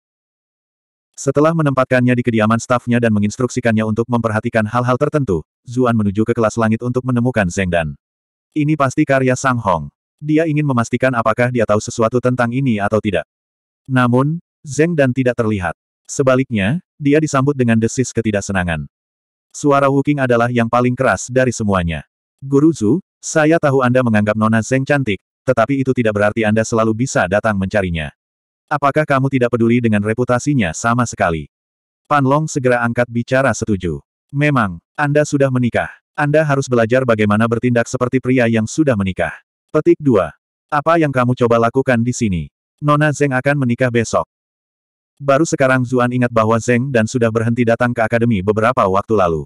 Dia pergi dengan cepat. Dia tidak punya waktu untuk bertengkar dengan orang-orang ini. Dia sengaja menampilkan dirinya di gerbang akademi, membuatnya seolah-olah dia telah pergi. Ini akan memudahkan Jiang Luofu untuk melindunginya. Dia langsung menuju ke Zeng Estate. Seluruh klan dihiasi dengan lentera dan spanduk. Pesan ucapan selamat, yang digantung di mana-mana, sangat menusuknya. Dengan mendengus dingin, dia berjalan lurus ke pintu masuk utama. Penjaga gerbang menghentikannya ketika mereka melihat kedatangannya. Nona pertama akan menikah besok. Dia tidak akan bertemu dengan pria lain saat ini. Wajah Zuan menjadi gelap. Aku yakin kamu ingat terakhir kali aku di sini. Katakan padanya bahwa aku sedang mencarinya, dan dia akan setuju untuk menemuiku. Ini, penjaga gerbang ini benar-benar mengingat kejadian sebelumnya. Orang ini tampaknya agak penting untuk kehilangan pertama mereka. Zuan melemparkan batangan perak. Penjaga gerbang itu segera sangat gembira. Tolong tunggu di sini, Tuan Muda. Yang rendah hati ini akan mengirim pesan. Tak lama kemudian, seseorang mengundangnya masuk. Zuan sedikit terpesona ketika dia melihat Zuluo Residence yang sudah dikenalnya. Ah Su, mengapa kamu datang ke sini? Zeng Dan memecat pelayannya dan menatapnya dengan kejutan yang menyenangkan. Zeng Dan sudah mengenakan pakaian pernikahan merah mewah, jelas dalam persiapan untuk pernikahan hari berikutnya. Dia terlihat sangat mempesona dengan gaunnya. Namun, matanya sedikit merah. Jelas bahwa dia telah menangis belum lama ini. Kamu terlihat sangat cantik hari ini. Meskipun dia datang membawa kemarahan di dalam hatinya, penampilannya benar-benar menakjubkan. Zeng dan mengerutkan bibirnya. Matanya tiba-tiba menjadi merah. Aku mulai menyesali semua ini. Mungkin sebaiknya kau membawaku pergi bersamamu sekarang. Zuan menghela nafas. Aku khawatir itu tidak mungkin. Apa yang terjadi? Zeng dan bertanya sekaligus. Jelas ada yang salah dengan ekspresinya. Zuan menjelaskan peristiwa yang terjadi di perkebunan Chu. Dia menatapnya dengan ama. Sang Hong berbohong padaku. Apakah Anda juga terlibat? Zeng dan menggigit bibirnya begitu keras, seolah-olah dia akan mengambil darah. Jika kamu tidak percaya padaku, aku akan pergi bersamamu sekarang untuk melawan klan Sang. Dia meraih tangannya dan mulai berjalan keluar. Master klan dari klan Zeng, Zeng Yutang, kebetulan berdiri di pintu masuk. Daner, apa yang kamu coba lakukan? Dia mengerutkan kening ketika dia melihat tangan mereka yang terkunci rapat. Ayah, aku perlu mengunjungi klan Sang. Zeng dan berkata dengan suara rendah. Kamu akan menyebabkan masalah. Zeng Yutang langsung marah. Kamu akan menikah dengan Sang Qian besok. Siapa yang pergi ke rumah tunangan mereka pada jam seperti itu? Itu nasib buruk. Aku tidak peduli. Saya harus mengunjungi klan Sang. Zeng dan berkata dengan gigi terkatup. Tidak, Anda tidak diizinkan pergi ke mana pun hari ini. Daner, kamu selalu patuh sejak kecil. Apa yang terjadi padamu hari ini? Zeng Yutang memandang Zuan. Apakah orang ini menyihirmu? Dia sadar bahwa putrinya sebelumnya telah mendekatinya untuk mencuri surat promes dari kasino Silverhook. Mengapa sepertinya aktingnya entah bagaimana berubah menjadi kenyataan? Sialan Zuan ini, apakah dia berspesialisasi dalam mencuri hati gadis-gadis dari klan besar atau semacamnya? Anda telah berhasil mengendalikan Zeng Yutang untuk 432 poin kemarahan. Aku tidak ada hubungannya dengan dia. Zeng dan dengan cepat menjelaskan. Zuan memotongnya. Cukup, saya percaya kata-kata Nona Zeng. Saya masih memiliki hal-hal lain untuk diurus. Aku tidak akan mengganggumu lebih jauh. Dengan itu, dia pergi dengan tergesa-gesa. Zeng dan mengejarnya, tetapi ayahnya menghentikannya. Ekspresinya menjadi gelap. Daner, bukankah seharusnya kamu memberitahuku apa yang sebenarnya terjadi di sini? Setelah meninggalkan klan Zeng, Zuan meluangkan waktu untuk menenangkan diri. Menghadapi Sang Hong sekarang sama sekali tidak ada artinya. Dia bahkan mungkin berjalan langsung ke dalam jebakan. Prioritas utamanya adalah menemukan cara untuk mengeluarkan klan Chu dari kekacauan ini. Sebuah ide datang kepadanya, dan dia mengeluarkan cermin rekaman untuk memanggil Cucuyan. Bab 407, Menanam Bendera Buruk. Panggilan terhubung dengan cepat, dan Cucuyan muncul di cermin. Penampilannya sama cantiknya seperti sebelumnya, tapi kali ini dia tampak sedikit tidak sabar. Ah Su, aku benar-benar tidak punya cukup batu ki untuk mengobrol santai denganmu. Bagaimana dengan ini? Aku akan membiarkanmu menghukumku sesukamu saat aku kembali. Hati Zuan bergejolak saat melihat rasa malunya. Namun, ada sesuatu yang jauh lebih penting saat ini. Dia dengan cepat berkata, benar-benar ada sesuatu yang mendesak kali ini. Sesuatu terjadi pada klan Chu. Petik 2. Dia dengan cepat memberitahunya tentang semua yang telah terjadi di perkebunan Chu. Ekspresi Cucuyan berubah beberapa kali. Jenderal pengawal kekaisaran, Liu Yao. Dia adalah bagian dari kekuatan inti permaisuri. Sepertinya permaisuri berencana untuk menggulung jaring. Petik 2. Apa yang harus kita lakukan sekarang? Perkebunan Chu telah sepenuhnya dikunci. Saya membuat Huan Zhao bersembunyi di akademi untuk saat ini, tetapi saya benar-benar tidak punya ide. Zuan merasakan sakit kepala yang hebat. Dia hanya bisa menyingkirkan Old Mi dan Wei dan karena keberuntungan. Sebenarnya, dia bukan orang yang menyingkirkan keduanya. Wei Dan telah dibunuh oleh Mitua, dan dia masih dikalahkan oleh Mitua yang sekarat. Jika kepemilikannya tidak gagal, dia pasti sudah meninggalkan dunia ini. Dia bukan dewa, dan tidak ada yang bisa dia lakukan ketika berhadapan dengan seorang ahli di puncak peringkat ke-9 dan pasukan serigala. Apa yang bisa dia lakukan? Jangan khawatir, klan tetap berdiri selama ratusan tahun. Tidak mudah menjatuhkan kami, kata Cucuyan. Zuan sedang tidak ingin diyakinkan seperti itu. Cucuyan tiba-tiba berkata, berapa banyak orang yang dibawa Liu Yao? Saya tidak tahu jumlah pastinya, tapi saya kira ada beberapa ratus, jawab Zuan. Itu bagus. Cucuyan menghela nafas lega. Zuan tidak bisa memahami reaksinya. Seorang jenderal di puncak peringkat ke-9, serta beberapa ratus penjaga kekaisaran. Mengapa dia tidak terganggu oleh kekuatan seperti itu? Ngomong-ngomong, di mana Yue San? Cucuyan bertanya. Saya mendengar bahwa Yue San juga ditangkap. Zuan menjawab. Dia mengutuk dalam hati. Yue San hanya di peringkat kelima. Tidak ada yang bisa dia lakukan bahkan jika dia tidak ditangkap. Cucuyan berkata, aku ingin kamu mengunjungi klan Chu dan diam-diam menghubungi ibuku. Minta dia untuk segel militer, dan ingat tentara jubah merah dari luar kota. Chu Zongtian telah memberikan segel militer ke Qin Wanru sebelum penangkapannya. Zuan tahu bahwa segel militer diperlukan untuk menggerakkan pasukan apa pun, jika tidak semua neraka akan mudah lepas. Kecemasannya berasal dari masalah yang sama sekali berbeda. Apa yang kamu coba lakukan, istriku?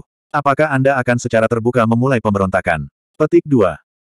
Sebagai seseorang dari dunia modern, ia memiliki banyak contoh sejarah untuk digunakan sebagai referensi.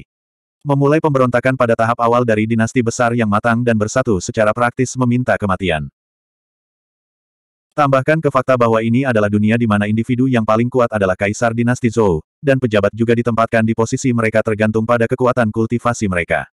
Kultivator peringkat tertinggi di klan Chu hanya di peringkat 8. Persetan mereka akan bisa bertarung dengan peluang seperti itu. Chu Chuyan tersenyum. Klan Chu kami ada bahkan sebelum dinasti Zhou, dan kami mengendalikan sumber daya garam dan besi yang penting. Kami mampu berdiri tegak selama seribu tahun. Apakah Anda pikir ini mungkin karena kekuatan individu? Petik 2. Bagaimana lagi? Zuan berkedip. Dia benar-benar sangat penasaran. Sejak dia memasuki klan Chu, dia merasa seolah-olah klan Chu seperti segumpal adonan. Tampaknya seolah-olah kekuatan lain bisa datang secara tiba-tiba dan memberi mereka adonan yang bagus. Ini jelas karena tentara jubah merah kita, yang diturunkan dari generasi ke generasi. Jejak fanatisme muncul di wajah Cucuyan. Selama tentara jubah merah masih ada, klan Cu kami akan terus ada. Tampaknya klan Cu kami telah menyembunyikan kekuatan kami begitu lama sehingga semua orang benar-benar menganggap kami sebagai penurut. Petik 2. Tidak peduli seberapa kuat tentara jubah merah, Jumlah mereka masih terbatas, Zuan tidak bisa tidak berkata. Tidak hanya itu, kita akan memberontak secara terbuka jika mereka memulai pertarungan dengan penjaga kekaisaran, dan kaisar sendiri memiliki kekuatan besar. Saya masih tidak bisa melihat masa depan untuk klan Chu. Petik 2.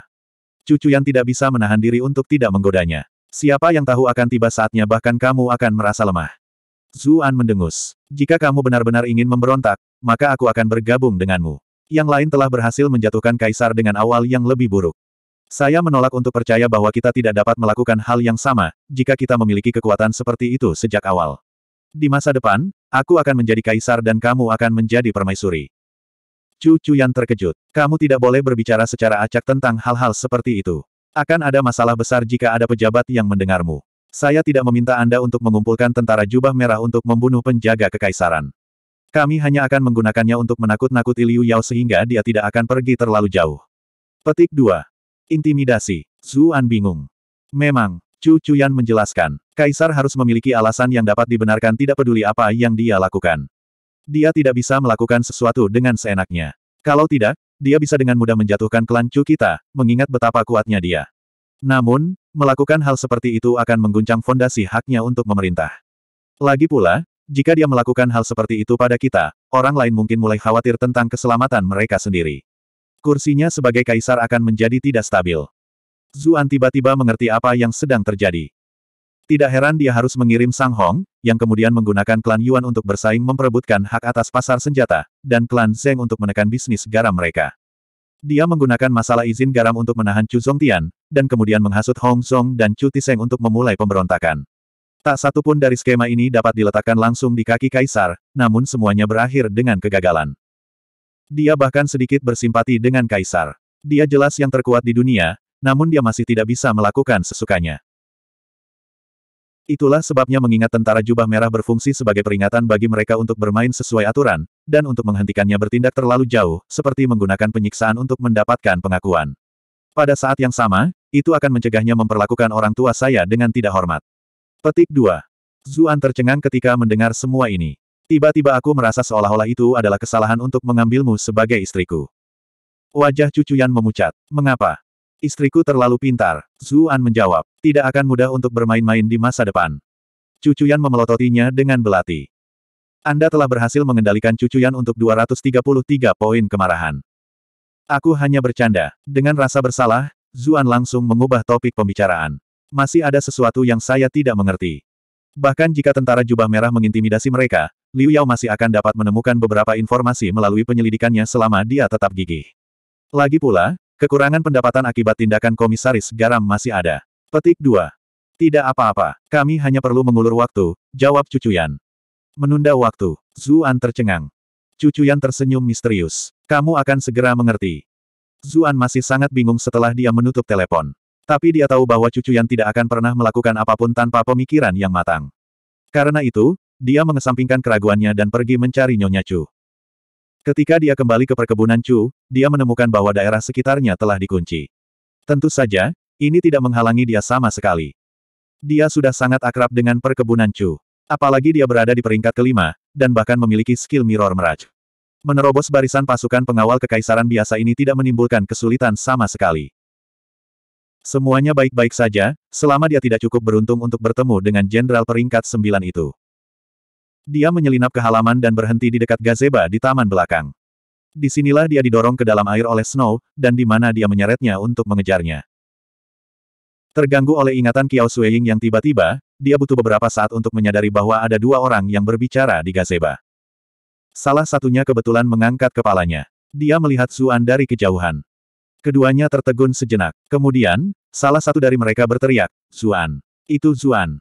Sialan kau Hong Xingying. Zuan mengutuk. Dia segera berangkat. Sesosok langsung bergegas keluar dari gazeba, kecepatannya berkali-kali lipat lebih cepat. Satu-satunya dengan kecepatan seperti itu di perkebunan Chu adalah jenderal peringkat sembilan itu. Zuan ingin menamparkan wajahnya sendiri. Dia telah menonton begitu banyak film di dunia masa lalunya, bagaimana mungkin dia tidak tahu harga dari menanam bendera yang begitu buruk. Dia berharap dia memiliki dua kaki lagi untuk membantunya berlari, tetapi sudah terlambat. Pihak lain terlalu cepat, dan telah menutup jarak dalam sekejap mata. Liu Yao telah meratapi kenyataan bahwa dia tidak dapat menangkap Zuan atau nona kedua Chu sebelumnya, dan tidak mungkin dia akan membiarkan Zuan lolos dari jarinya kali ini. Dia mengulurkan tangannya ke arah Zuan dan mengepalkan tinjunya. Proyeksi tangan besar muncul, dan mulai mendekat di sekitar mangsanya. Bab 408, Dunia Kecil Saat telapak tangan tembus pandang muncul di sekelilingnya, Zuan merasa sulit bernapas. Bahkan udara di sekitarnya sedang dihancurkan. Persetan, apakah Anda Buddha berdarah atau semacamnya? Dia mengutuk. Dia tidak ingin mengalami nasib yang sama dengan Raja Kera. Dia tidak berani menahan diri. Dia segera menggunakan Grand Gale untuk berteleportasi ke udara. Tidak ada bukaan lain. Itulah satu-satunya tempat dia bisa menyelinap keluar. Saat dia akan jatuh, dia menggunakan Grand Gale lagi, mendorong dirinya beberapa zang lebih tinggi. Mata Liu Yao melebar. Menurut kecerdasannya, Zuan seharusnya berada di sekitar peringkat keempat. Sejujurnya, dia tidak peduli jika anak ini berada di peringkat ketiga, keempat, atau kelima. Lagi pula, semua itu tidak terlalu berarti bagi orang seperti dia. Bagaimana dia bisa meramalkan bahwa anak ini bisa terbang ke langit? Apakah dia entah bagaimana berada di peringkat kesembilan? Meskipun ini benar-benar tidak masuk akal, inilah yang dia lihat. Menjaga kewaspadaannya, dia segera bergegas ke udara untuk mengejar Zuan. Setelah beberapa saat, Zuan tidak punya pilihan selain mendarat. Dia tidak bisa menggunakan Grand Gale tanpa batas. Liu Yao menghela nafas lega saat melihat Zuan mendarat. Jadi dia tidak berada di peringkat ke-9. Pada saat yang sama, dia menertawakan dirinya sendiri. Dia membuat keributan besar dari ketiadaan. Tidak ada yang namanya pembudidaya peringkat 9 muda di dunia ini. Dia sudah selesai bermain petak umpet dengan bocah ini. Dia mengambil celah dan memukul dengan telapak tangannya, berniat untuk melumpuhkannya terlebih dahulu sebelum perlahan menginterogasinya. Either way, dia hanya menantu yang direkrut, dan bukan tokoh inti di klan Chu. Melukainya atau melumpuhkannya tidak akan membuat perbedaan. Begitu Zuan berhenti, dia mendengar peluit tajam datang dari belakangnya. Dia segera menghindar ke samping dengan waspada, tetapi dia masih tidak bisa menghindari apa yang akan datang. Ia merasa seperti ditabrak oleh mobil yang melaju kencang. Darah menyembur keluar dari mulutnya. Dia merasa seolah-olah semua organ internalnya telah terlepas dari tempatnya, dan dia akan pecah. Penglihatannya menjadi gelap. Namun, dia tahu bahwa tidak mungkin dia bisa pingsan sekarang, dan dengan cepat menggigit lidahnya untuk tetap terjaga. Menggunakan Sunflower Pantasem, dia melarikan diri ke tiga arah yang berbeda. Sekali lagi, Liu Yao tercengang. Serangan itu cukup kuat untuk melumpuhkan bahkan ahli peringkat keenam. Mengapa anak ini masih bisa terus berlari? Orang aneh macam apa dia? Pihak lain bahkan telah terpecah menjadi tiga salinan yang identik sekaligus, jadi dia tidak tahu yang mana yang harus dikejar. Zuan dengan cepat menghilang dari pandangan. Ekspresi Liu Yao menjadi jelek. Dia segera memberikan perintah. Cari di sekitar untuk mencari seorang pria muda yang terluka parah yang mengenakan pakaian putih. Dia tidak akan bisa pergi jauh. Cara itu, cara itu, dan cara itu. Cari di ketiga arah. Sementara itu, Zuan tidak melarikan diri lebih jauh, tetapi kembali ke Chu Estate sebagai gantinya. Tempat paling berbahaya sekarang telah menjadi tempat teraman. Semua prajurit telah pergi keluar untuk mencarinya, jadi lebih aman tinggal di perkebunan. Dia juga mendengar apa yang Liu Yao katakan, jadi dia dengan cepat menanggalkan pakaiannya dan menggantinya dengan pakaian hijau. Khawatir bahwa seseorang masih akan mengenalinya, dia mengeluarkan topeng dan memakainya. Tidak hanya mengubah penampilannya, noda darah di wajahnya dan kulit pucatnya juga menghilang. Hanya setelah melakukan semua ini dia memeriksa kondisinya sendiri. Dia memiliki beberapa tulang yang patah, dan mengalami beberapa kerusakan pada organ internalnya juga. Jika bukan karena sutra asal primordial yang menempa tubuhnya dua kali dan membuat tubuhnya jauh lebih kuat daripada orang biasa, dia mungkin sudah lumpuh. Orang tua itu sangat kejam. Zuan segera menggunakan sutra asal primordial untuk mengobati luka-lukanya. Pada saat yang sama, dia menelan pil pengembalian jiwa yang dia dapatkan dari tabib surgawi Ji. Dia tidak ingin minum, fight in Brother Spring. Dia tidak menghadapi sesuatu yang mengancam jiwa saat ini. Pil pengembalian jiwa juga pantas mendapatkan reputasinya. Dia bisa merasakan gelombang kekuatan obat menyebar keluar dari dantiannya untuk menyehatkan seluruh tubuhnya. Ditambah dengan sifat alami dari sutra asal primordial, kecepatan penyembuhan menjadi jauh lebih cepat. Dia akhirnya menemukan kamar tempat Qin Wanru dikurung. Yang mengejutkannya, dia tidak diikat, tetapi duduk di samping tempat tidurnya dengan cemberut khawatir. Kamu siapa? Ketika dia melihat ada seseorang di luar, Qin Wanru melompat ketakutan, dan tanpa sadar mundur selangkah. Nyonya, ini saya. Zuan melepas topengnya. Ah Su. Qin Wanru terkejut dan senang melihatnya. Nyonya, Anda telah melalui banyak hal. Aku akan membebaskanmu sekarang juga. Zuan bergegas masuk untuk menariknya keluar. Tiba-tiba, dia batuk dan meludahkan seteguk darah. Kamu terluka. Qin Wanru berteriak ketakutan. Tidak apa-apa, itu hanya luka kecil, kata Zuan sambil tersenyum, menyeka sudut mulutnya. Nada bicara Qin Wanru menjadi serius. Satu-satunya yang bisa menyakitimu sekarang mungkin adalah Liu Yao. Dia berada di puncak peringkat ke-9. Bagaimana lukamu bisa ringan jika kamu berhasil melarikan diri darinya? Saya juga mendengar dia mengirim pasukan barusan. Jadi kaulah yang dia kejar. Zuan melambaikan tangannya dan berkata, aku baik-baik saja, sungguh. Aku tangguh dan berkulit tebal, ingat. Saya sudah cukup banyak pulih. Aku akan memberitahumu sisanya setelah kita keluar. Petik 2. Qin Wanru menggelengkan kepalanya. Aku tidak bisa pergi. Mereka telah menyegel Kiku, jadi aku hanya akan menjadi beban jika aku pergi bersamamu. Selain itu, ayah mertuamu masih di sini. Bagaimana saya bisa pergi sendiri? Petik 2. Zuan menemukan dirinya dalam kesulitan. Jika dia disegel, maka kemungkinan besar Chu Zongtian juga demikian. Tidak mungkin dia bisa mengekstrak keduanya dengan kultivasinya saat ini. Ngomong-ngomong, Bagaimana kabar Huan Zhao? Qin Wanru bertanya, suaranya penuh kekhawatiran. Nyonya, jangan khawatir. Saya sudah menempatkannya di tempat yang aman, jawab Zuan. Itu bagus, itu bagus. Qin Wanru menghela nafas lega. Sesuatu terjadi padanya, dan merogoh kerahnya. Wajahnya tiba-tiba menjadi merah. Bisakah kamu berbalik? Oh, Zuan bingung, tetapi tanpa sadar berbalik. Ini adalah untuk Anda, Qin Wanru berkata dengan cepat. Zuan merasakan dia meletakkan segel persegi di tangannya. Dia memeriksanya, dan terkejut melihat bahwa ini adalah segel militer. Apa yang membuatnya terkejut adalah bahwa segel logam itu tidak dingin, tetapi memiliki kehangatan yang luar biasa. Bahkan ada aroma yang tertinggal di segel. Wajah Qin Wanru menjadi merah. Dia berkata dengan lembut, benda ini sangat penting, jadi saya selalu membawanya. Bagaimanapun, aku adalah bangsawan. Liu Yao tidak akan pernah menggeledah tubuhku bahkan jika dia menggeledah seluruh perkebunan. Itu sebabnya dia tidak menemukan ini. Zuan ingat bagaimana dia merogoh kerahnya, jadi dia bisa menebak di mana itu disembunyikan. Dia tidak bisa membantu tetapi memberinya pandangan lain. Ada begitu banyak ruang di sana. Meliriknya membuat Qin Wanru sangat tidak nyaman. Dia terbatuk ringan dan berkata, ambil segel ini dan ingat tentara jubah merah yang ditempatkan di barak di pinggiran kota. Liu Yao sudah keterlaluan. Apakah mereka pikir klan Chu kita mudah diganggu? Petik 2. Zuan tercengang. Keduanya benar-benar ibu dan anak. Mereka telah sampai pada keputusan yang sama kali ini. Untuk apa kau menatapku? Qin Wanru terkejut. Dia tanpa sadar memeriksa pakaiannya sendiri, takut dia mungkin lupa mengancingkan kerahnya kembali setelah melepas segelnya. Itulah yang dipikirkan Cuyan. Zuan mengulangi rencana Cu Cuyan padanya. Itu putriku. Qin Wanru juga tersenyum, tetapi segera menghela nafas. Tapi aku khawatir semuanya tidak akan berjalan semulus yang dia harapkan. Hong Xingying adalah orang yang menjual kami, dan dia bahkan memiliki buku rekening yang dia tinggalkan bersamaku. Ini semua salahku karena tidak berguna. Chu Tiseng mencuri buku itu selama pemberontakannya sebelumnya. Hong Xingying. Zuan menggertakkan giginya karena marah.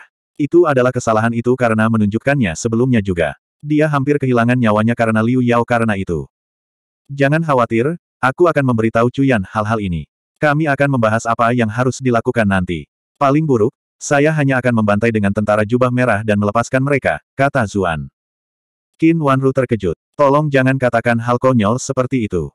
Kita bisa bertahan hidup seperti pengungsi, tapi tidak mungkin kita bisa bertahan jika kita memberontak.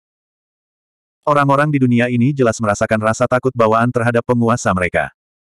Tentu saja, Kaisar dinasti Zhou adalah orang yang paling berkuasa di seluruh dunia ini, jadi dia bahkan kurang percaya diri bahwa pemberontakan apa pun akan berhasil. Terdengar suara langkah kaki mendekat, bersama dengan suara yang meneteskan rasa bangga. Nyonya, Apakah Anda tidur? Singying memiliki sesuatu untuk dibicarakan denganmu. Bab 409, Jari Bersinar. Mereka berdua melompat ketakutan ketika mereka mendengar ini. Qin Wanru mendorong Zuan di belakangnya. Menyembunyikan. Itu semua akan menjadi lebih jika ia memberitahu pengawal istana. Pertarungan Zuan dengan Liu Yao masih segar dalam ingatannya. Dia benar-benar tidak ingin mengulangi pengalaman itu. Karena itu, dia memutuskan untuk bersembunyi di balik layar dan menilai situasinya. Pintu terbuka tepat saat Zuan menyelinap bersembunyi, dan Hong Xingying masuk. Qin Wanru menyesuaikan rambutnya untuk menyembunyikan alarmnya. Mengapa kamu di sini? Sudah lama, saya jelas datang untuk memberi salam kepada Nyonya. Hong Xingying jelas bersemangat tinggi. Qin Wanru mencibir. Apa? Apakah Anda di sini hanya untuk menggosoknya? Petik 2. Saya tidak berharap Nyonya melihat saya begitu cepat. Hong Xingying tidak berusaha menyangkal. Seperti yang dikatakan nenek moyang kita, jika kekayaan dan kemuliaan tidak dibawa pulang, sama saja dengan berjalan-jalan di malam hari dengan pakaian mahal. Kelancu Anda tidak tahu bagaimana memperlakukan orang Anda sendiri dengan benar. Saya jelas harus memanfaatkan kesempatan ini untuk melihat baik-baik penyesalan di wajah Anda. Petik 2. Kamu benar. Kami merasa sangat menyesal. Qin Wanru mendengus. Saya sangat menyesal tidak menyadari orang seperti apa Anda sebenarnya, dan tidak menyadari sebelumnya betapa Zuan jauh lebih baik. Zuan, yang bersembunyi di balik layar, menjadi gembira ketika mendengar ini. Apakah Nyonya memuji saya dengan sengaja agar saya dengar? Hong Xingying sangat marah ketika dia mendengar nama Zuan. Zuan, dia hanya beruntung yang tidak berguna. Bagaimana bisa ada bagian dari dirinya yang bisa dibandingkan denganku? Wajahnya yang sebelumnya tampan menjadi benar-benar terpelintir karena marah dan benci. Dia, yang selalu menganggap dirinya sangat tinggi, telah dipukuli berulang kali oleh Zuan ini. Zuan sudah menjadi mimpi buruk yang tidak pernah bisa dia singkirkan. Qin Wanru menghela nafas. Fakta bahwa kamu masih tidak dapat melihat semua cara dia lebih unggul darimu hanya berfungsi sebagai bukti lebih lanjut dari kebodohanmu. Menurutnya, Zuan lebih menonjol daripada Hong Xingying dalam segala hal. Hong Xingying baik dan benar-benar terprovokasi. Dia tiba-tiba mulai berjalan ke arahnya. Bukankah Nyonya selalu membenci Suan? Kenapa kamu tiba-tiba melindunginya? Ada desas-desus beredar bahwa ada sesuatu yang terjadi di antara kalian berdua. Sepertinya mereka benar. Petik 2. Kamu benar-benar tercela. Qin Wanru sangat marah. Dia tidak pernah menyangka seorang pelayan yang dulu sangat menghormatinya berbicara dengan cara seperti itu. Hong Xingying mendengus. Siapa yang kamu coba menakut-nakuti? Apakah Anda pikir Anda masih seorang bangsawan yang mulia dan tak tersentuh? Segera, klan Chu Anda akan tidak ada lagi. Petik 2. Itu mungkin tidak begitu. Qin Wanru sedang tidak ingin menghiburnya lebih jauh. Nyah, kamu tidak diterima lagi di sini. Heh, aku khawatir kamu bukan orang yang bertanggung jawab atas perkebunan ini lagi. Hong Xingying tidak hanya tidak bergerak untuk pergi, dia malah mendekati Qin Wanru, selangkah demi selangkah. Apa yang sedang kamu lakukan? Ekspresi Qin Wanru berubah seketika ketika dia melihatnya semakin dekat. Dia mundur dengan panik. Menurutmu apa yang aku lakukan? Ekspresi gila muncul di mata Hong Xingying. Jika Zuan itu bisa melakukannya, mengapa saya tidak? Dia tidak akan berani memendam pikiran seperti itu sebelumnya, tapi kehancuran klan Chu sudah tak terelakkan. Enam peringkat kultivasi Qinwanru bahkan telah ditutup, sementara orang-orang Liu Yao habis-habisan mencari Zuan. Qinwanru tampak persis seperti kelinci yang tidak berbahaya di matanya, dan dia bahkan memprovokasi dia dengan membesarkan Zuan. Beberapa pikiran jahat yang telah dia tekan di dalam hatinya mulai muncul ke permukaan. Sebaiknya tidak. Qin Wanru ngeri. Dia mencoba menghindarinya, tetapi kultivasinya telah disegel. Dalam kondisinya saat ini, dia tidak berbeda dari orang biasa. Bagaimana dia bisa melarikan diri? Hong Xingying menyusulnya dengan satu langkah. Tangannya terulur ke arah dadanya yang bulat. Di matanya, Qin Wanru selalu tak tersentuh. Meskipun dia sangat menakjubkan, dia tidak pernah berani memikirkan pemikiran seperti itu tentang dia. Namun, sekarang situasinya berbeda. Begitu pikiran-pikiran ini dilepaskan, dia tidak bisa lagi mengendalikan dirinya. Kegembiraan yang membara mulai membara di matanya ketika dia memikirkan bagaimana dia akan menikmati Duchess yang mulia ini sendirian. Dia tumbuh lebih terstimulasi ketika dia memikirkan bagaimana dia berhubungan dengan kehilangan pertama. Namun, tangannya yang terulur tidak disambut oleh sensasi lembut yang dia bayangkan. Sebaliknya, ada rasa sakit yang hebat. Seorang pria berdiri di antara mereka, meremas tangannya dan menatapnya dengan dingin. Zuan, Hong Xingying terkejut dan marah melihatnya di kamar Qin Wanru. Kalian berdua benar-benar berselingkuh. Anda telah berhasil mengendalikan Hong Xingying untuk 666 poin kemarahan. Tutup mulutmu. Zuan memukul wajahnya. Suara retakan yang keras dan renyah terdengar. Hong Xingying dipukul begitu keras sehingga dia tersandung. Jejak merah besar dari tangan menutupi setengah wajahnya. Zuan mendukung Qin Wanru sekaligus. Nyonya, Apakah Anda baik-baik saja? Qin Wanru mengangguk dan berkata dengan nada pelan, jangan biarkan dia pergi. Zuan menatap Hong Xingying. Bukankah kamu mengatakan bahwa aku lebih buruk darimu dalam segala hal? Inilah kesempatan Anda. Lawan aku satu lawan satu. Jika Anda menang, maka nyonya adalah milik Anda hari ini. Petik 2. Mulut Qin Wanru terbuka. Anda telah berhasil mengendalikan Qin Wanru untuk 213 poin kemarahan. Hong Xingying baru saja akan memanggil penjaga, tetapi dia menelan kata-katanya ketika mendengar apa yang dikatakan Zuan. Betulkah? Zuan tertawa. Maksudku, jika kamu mengajakku keluar, siapa yang akan ada untuk menghentikanmu melakukan hal-hal buruk? Meskipun Qin Wanru kurang lebih mengerti bahwa Zuan sengaja mengulur waktu Hong Xingying, digunakan sebagai chip judi masih membuatnya merasa malu dan marah. Ekspresi Hong Xingying berkedip beberapa kali.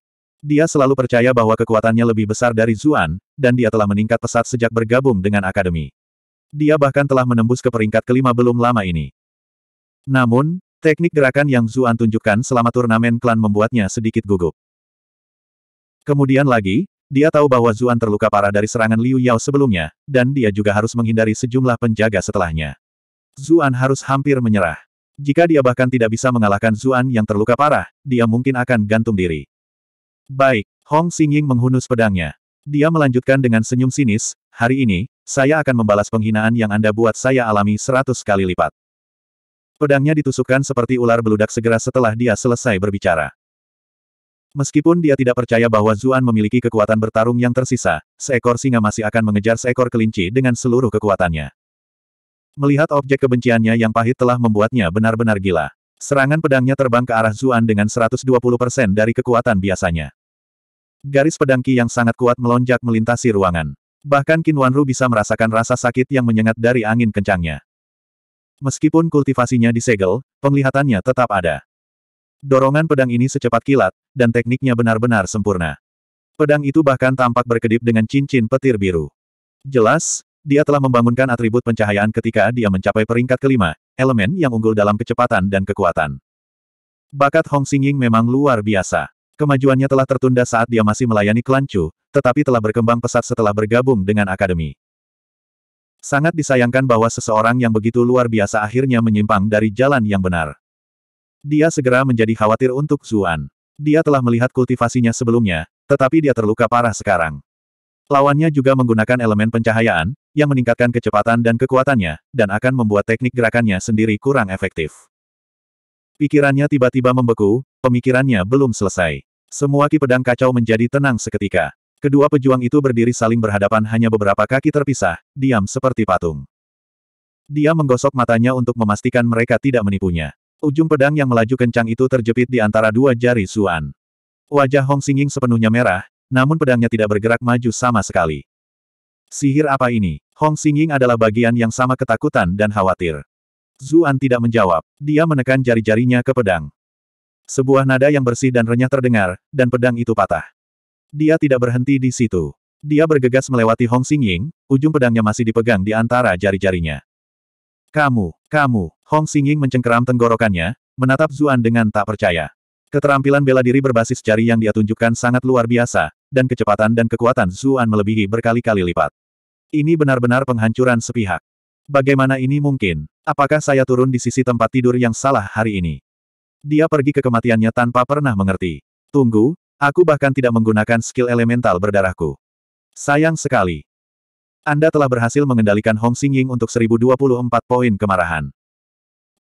Zuan benar-benar tidak terpengaruh saat dia melihat Hong Xingying mati. Dia lebih kuat dari Hong Xingying untuk memulai, dan bersama dengan buff yang diberikan Sutra Phoenix Nirvana kepadanya, menyingkirkannya terlalu mudah. Keterampilan bela diri macam apa itu? Qin Wanru merasa seolah-olah dia masih bermimpi. Namun, dia tahu bahwa jepitan jari itu tidak semudah kelihatannya. Itu pasti teknik jari yang sangat dalam. Ini adalah puncak dari seribu tahun. Ahem, ahem, ini disebut jari cemerlang. Zuan sangat tidak menyukai kata bunga matahari lagi, jadi dia mengganti namanya. Jari bersinar, Qin Wanru tercengang. Itu nama yang cukup bagus, pujinya. Tentu saja, Zuan merasa sedikit bangga pada dirinya sendiri. Kamu harus pergi. Para penjaga pasti akan merasakan fluktuasi unsur, dan datang ke sini untuk menyelidikinya. Suara langkah kaki yang tergesa-gesa datang dari luar segera setelah Qin Wanru selesai berbicara. Nyonya, harap berhati-hati. Zuan juga tidak membuang waktu dan pergi dengan cepat. Di jalan keluar, dia mengumpulkan mayat Hong Xingying menggunakan Brilliant Glass Bat, untuk menghindari kecurigaan Liu Yao. Dia langsung menuju ke pinggiran kota, di mana barak yang menampung tentara jubah merah berada. Dia melemparkan mayat Hong Xingying ke hutan di sepanjang jalan. Binatang buas hutan akan menangani mayatnya dalam waktu kurang dari setengah hari. Setelah mengurusnya, dia mengeluarkan cermin dan memanggil Cucuyan. Wajah cantik Cucuyan muncul di permukaan cermin segera setelah itu. Ah Su, kamu terluka. Dia bisa segera tahu bahwa ada sesuatu yang salah. Zuan merasakan gelombang kehangatan. Jangan khawatir, luka ringan ini tidak akan terlalu menggangguku. Dia kemudian mengulangi semua yang dia lihat dan dengar di perkebunan cupadanya. Pada saat yang sama, dia menceritakan tentang kekhawatirannya sendiri. Buku rekening itu ada di tangan pengadilan sekarang, jadi kita mungkin akan segera berakhir sebagai pengungsi. Apakah Anda tahu di mana Blackwing Stocket berada? Mengapa kita tidak pergi ke sana dan menjadi Raja Gunung? Kita bisa berkeliaran di hutan belantara sebagai pasangan. Petik 2. Siapa yang ingin menjadi Raja Gunung?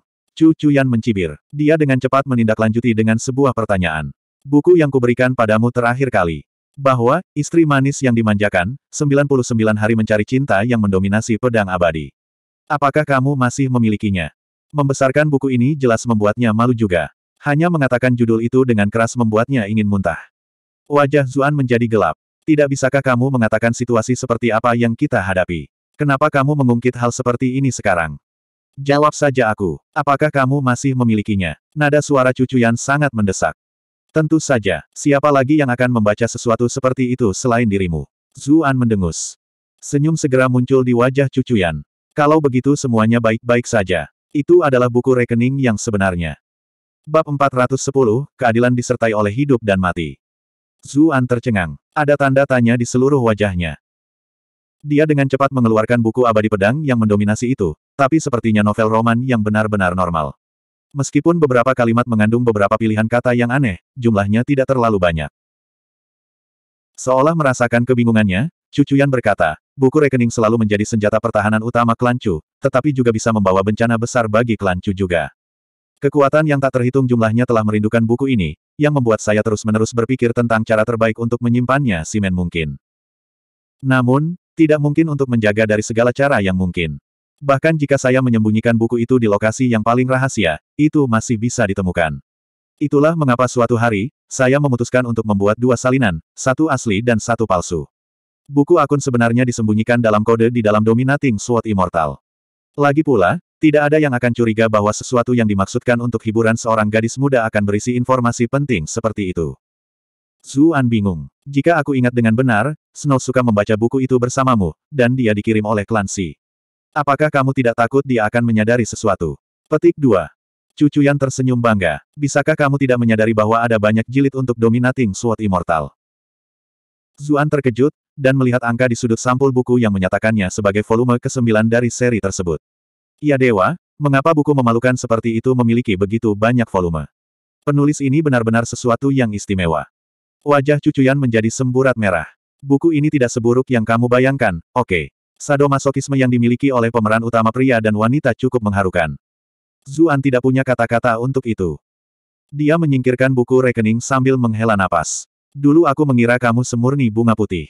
Siapa yang tahu bahwa Anda sebenarnya bisa begitu licik? Anda tidak hanya menipu saya, Anda bahkan berbohong kepada orang tua Anda sendiri. Dia bisa tahu dari cara Qin Wanru menyalahkan dirinya sendiri bahwa dia tidak tahu buku yang hilang darinya adalah buku rekening palsu. Cucu yang agak malu. Saya juga tidak ingin menipu Anda, tetapi ada terlalu banyak orang setelah pembukuan ini. Akan lebih merepotkan jika salah satu dari kalian tidak sengaja membocorkan informasi ini. Daripada mengandalkan kemampuan aktingmu, bukankah lebih baik menyembunyikannya dari awal? Zuan tidak bisa menahan diri untuk tidak menggalinya. Orang lain berbohong kepada ayah mereka, tetapi kamu berbohong kepada ayahmu, ibumu, pasanganmu, dan adik perempuanmu pada saat yang sama. Mulut cucuyan terbuka tanpa kata. Tapi pada akhirnya semuanya berjalan dengan baik, Zuan tertawa. Sepertinya kita tidak harus hidup sebagai pengungsi. Cucuyan berkata sambil tersenyum, saya telah menyelesaikan persiapan saya sendiri di sini. Jika saya tidak salah, maka berita akan mencapai Bright Moon City dalam beberapa hari ke depan. Petik 2. Zuan menghela napas lega. Itu bagus. Aku bisa berjalan dengan tentara jubah merah sampai saat itu.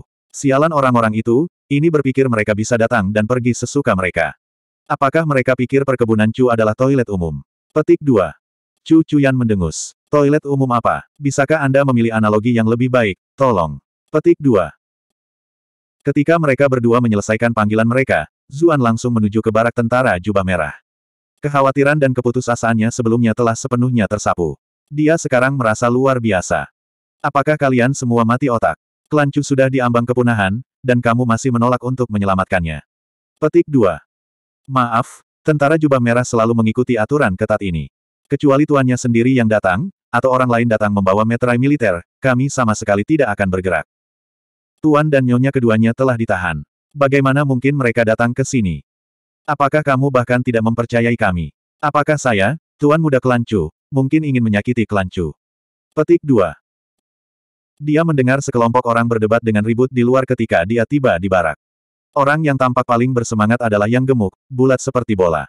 Siapa lagi ini selain Chu Yucheng dari cabang ketiga? Kehadiran anak kedua mengejutkannya. Dibandingkan dengan Chu Yucheng, yang satu ini terlihat sangat heroik dan gagah berani. Chu Hongchai. Zuan mengerutkan kening. Bukankah dia ditahan? Meskipun bukti menunjukkan fakta bahwa Chu Hongchai tidak berpartisipasi dalam pemberontakan Chu Tiseng, dia masih putra Chu Tiseng. Ayahnya telah terbunuh dalam pemberontakan, dan tidak diragukan lagi bahwa dia merasa sangat kesal.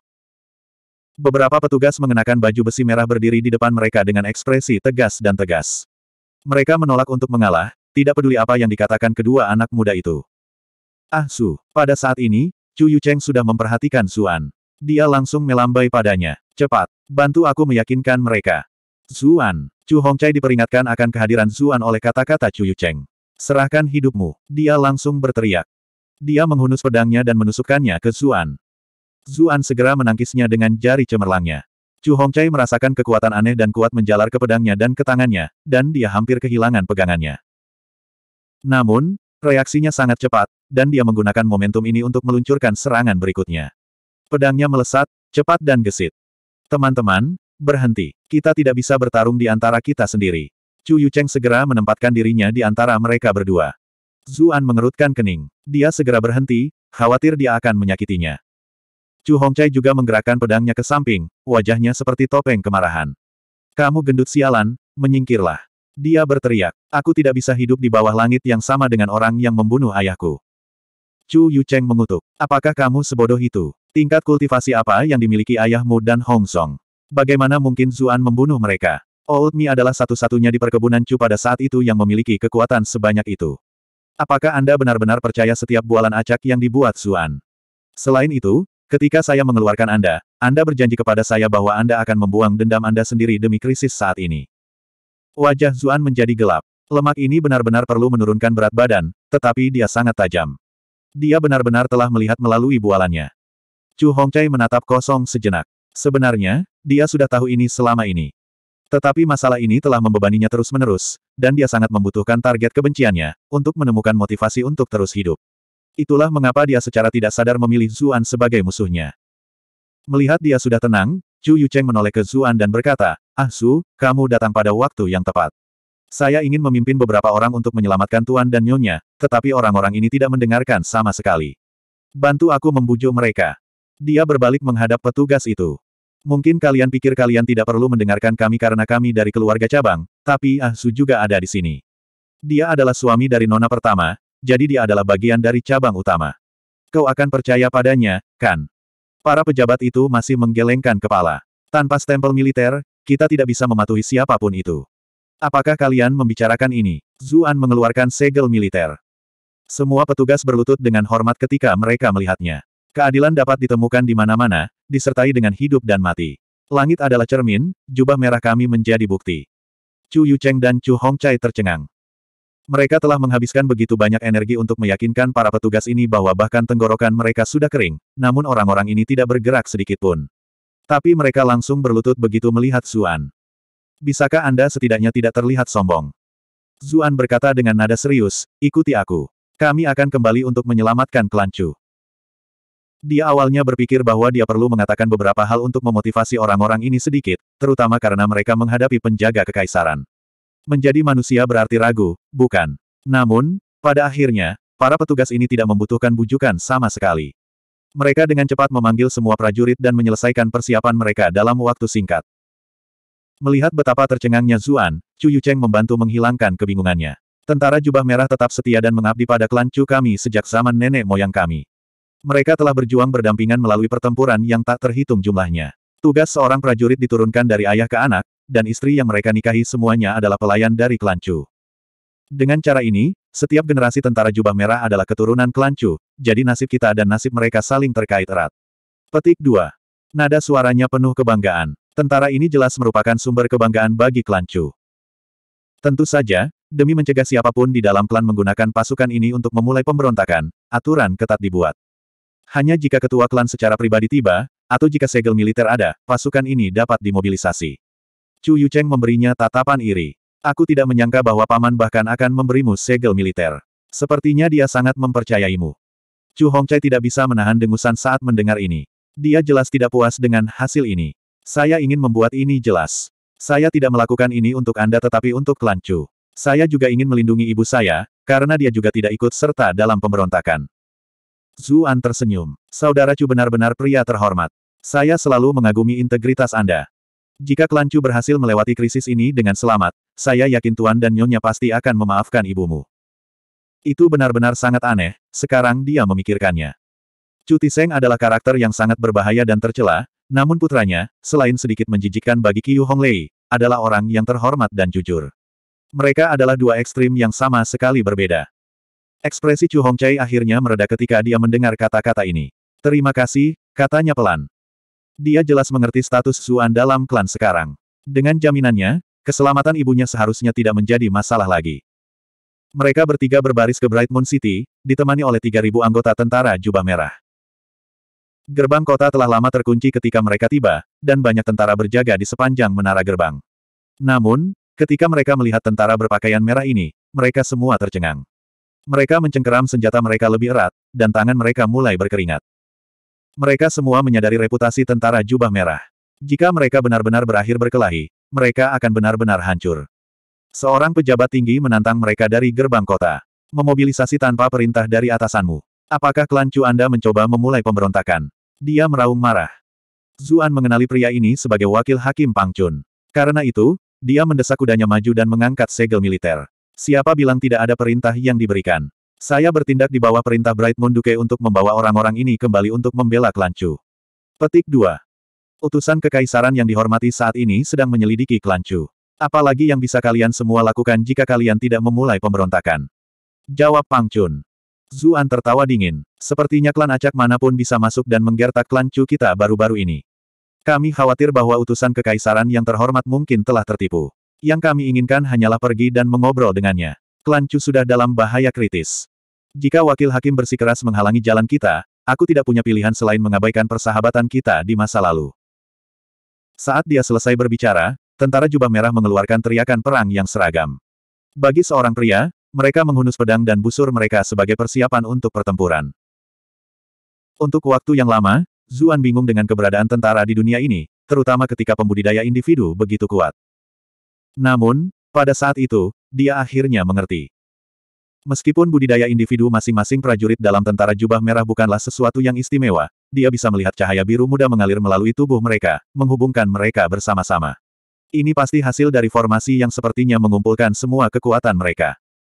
Tiba-tiba, dia merasakan tekanan besar yang diberikan dari pasukan ini. Itu jauh lebih besar dari apa yang dia rasakan dari Liu Yao. Para prajurit yang menjaga gerbang kota bahkan dalam kondisi yang lebih buruk. Tekanan yang luar biasa membuat mereka semua langsung pucat, dan anggota tubuh mereka mulai terasa sedingin es. Mereka semua menoleh ke Pang Chun, mendesaknya untuk membuat keputusan dengan cepat. Pang Chun juga cemas. Dia mengerti bahwa pasukan regional ini sudah lama tidak bertempur, dan bukan tandingan elit tentara jubah merah ini. Namun, dia masih memiliki tugasnya untuk dilaksanakan. Bagaimana dia bisa membiarkan mereka masuk ke dalam kota? Saya kira mati untuk negara saya adalah satu-satunya pilihan. Pada saat ini, sebuah kereta perlahan berjalan dari pinggiran kota. Melihat situasinya, ia berhenti di dekat gerbang kota. Tirai terangkat, dan seorang wanita dengan rok anggun perlahan berjalan keluar. Tuan Pang, mengapa gerbang ditutup di siang hari bolong? Tolong buka agar saya bisa masuk. Petik 2. Pang Chun tidak tahu harus tertawa atau menangis. Nona muda, bisakah kamu melewatkan apa yang terjadi di sini sekarang? Orang yang muncul dari kereta tidak lain adalah putri tuan kota, Xie Daoyun. Dia berbalik seolah dikejutkan oleh kesadaran yang tiba-tiba. Oh, tuan muda Zhu juga ada di sini. Wajah Pang Chun berkedut. Nona muda, Bisakah kamu setidaknya berusaha lebih keras dalam aktingmu?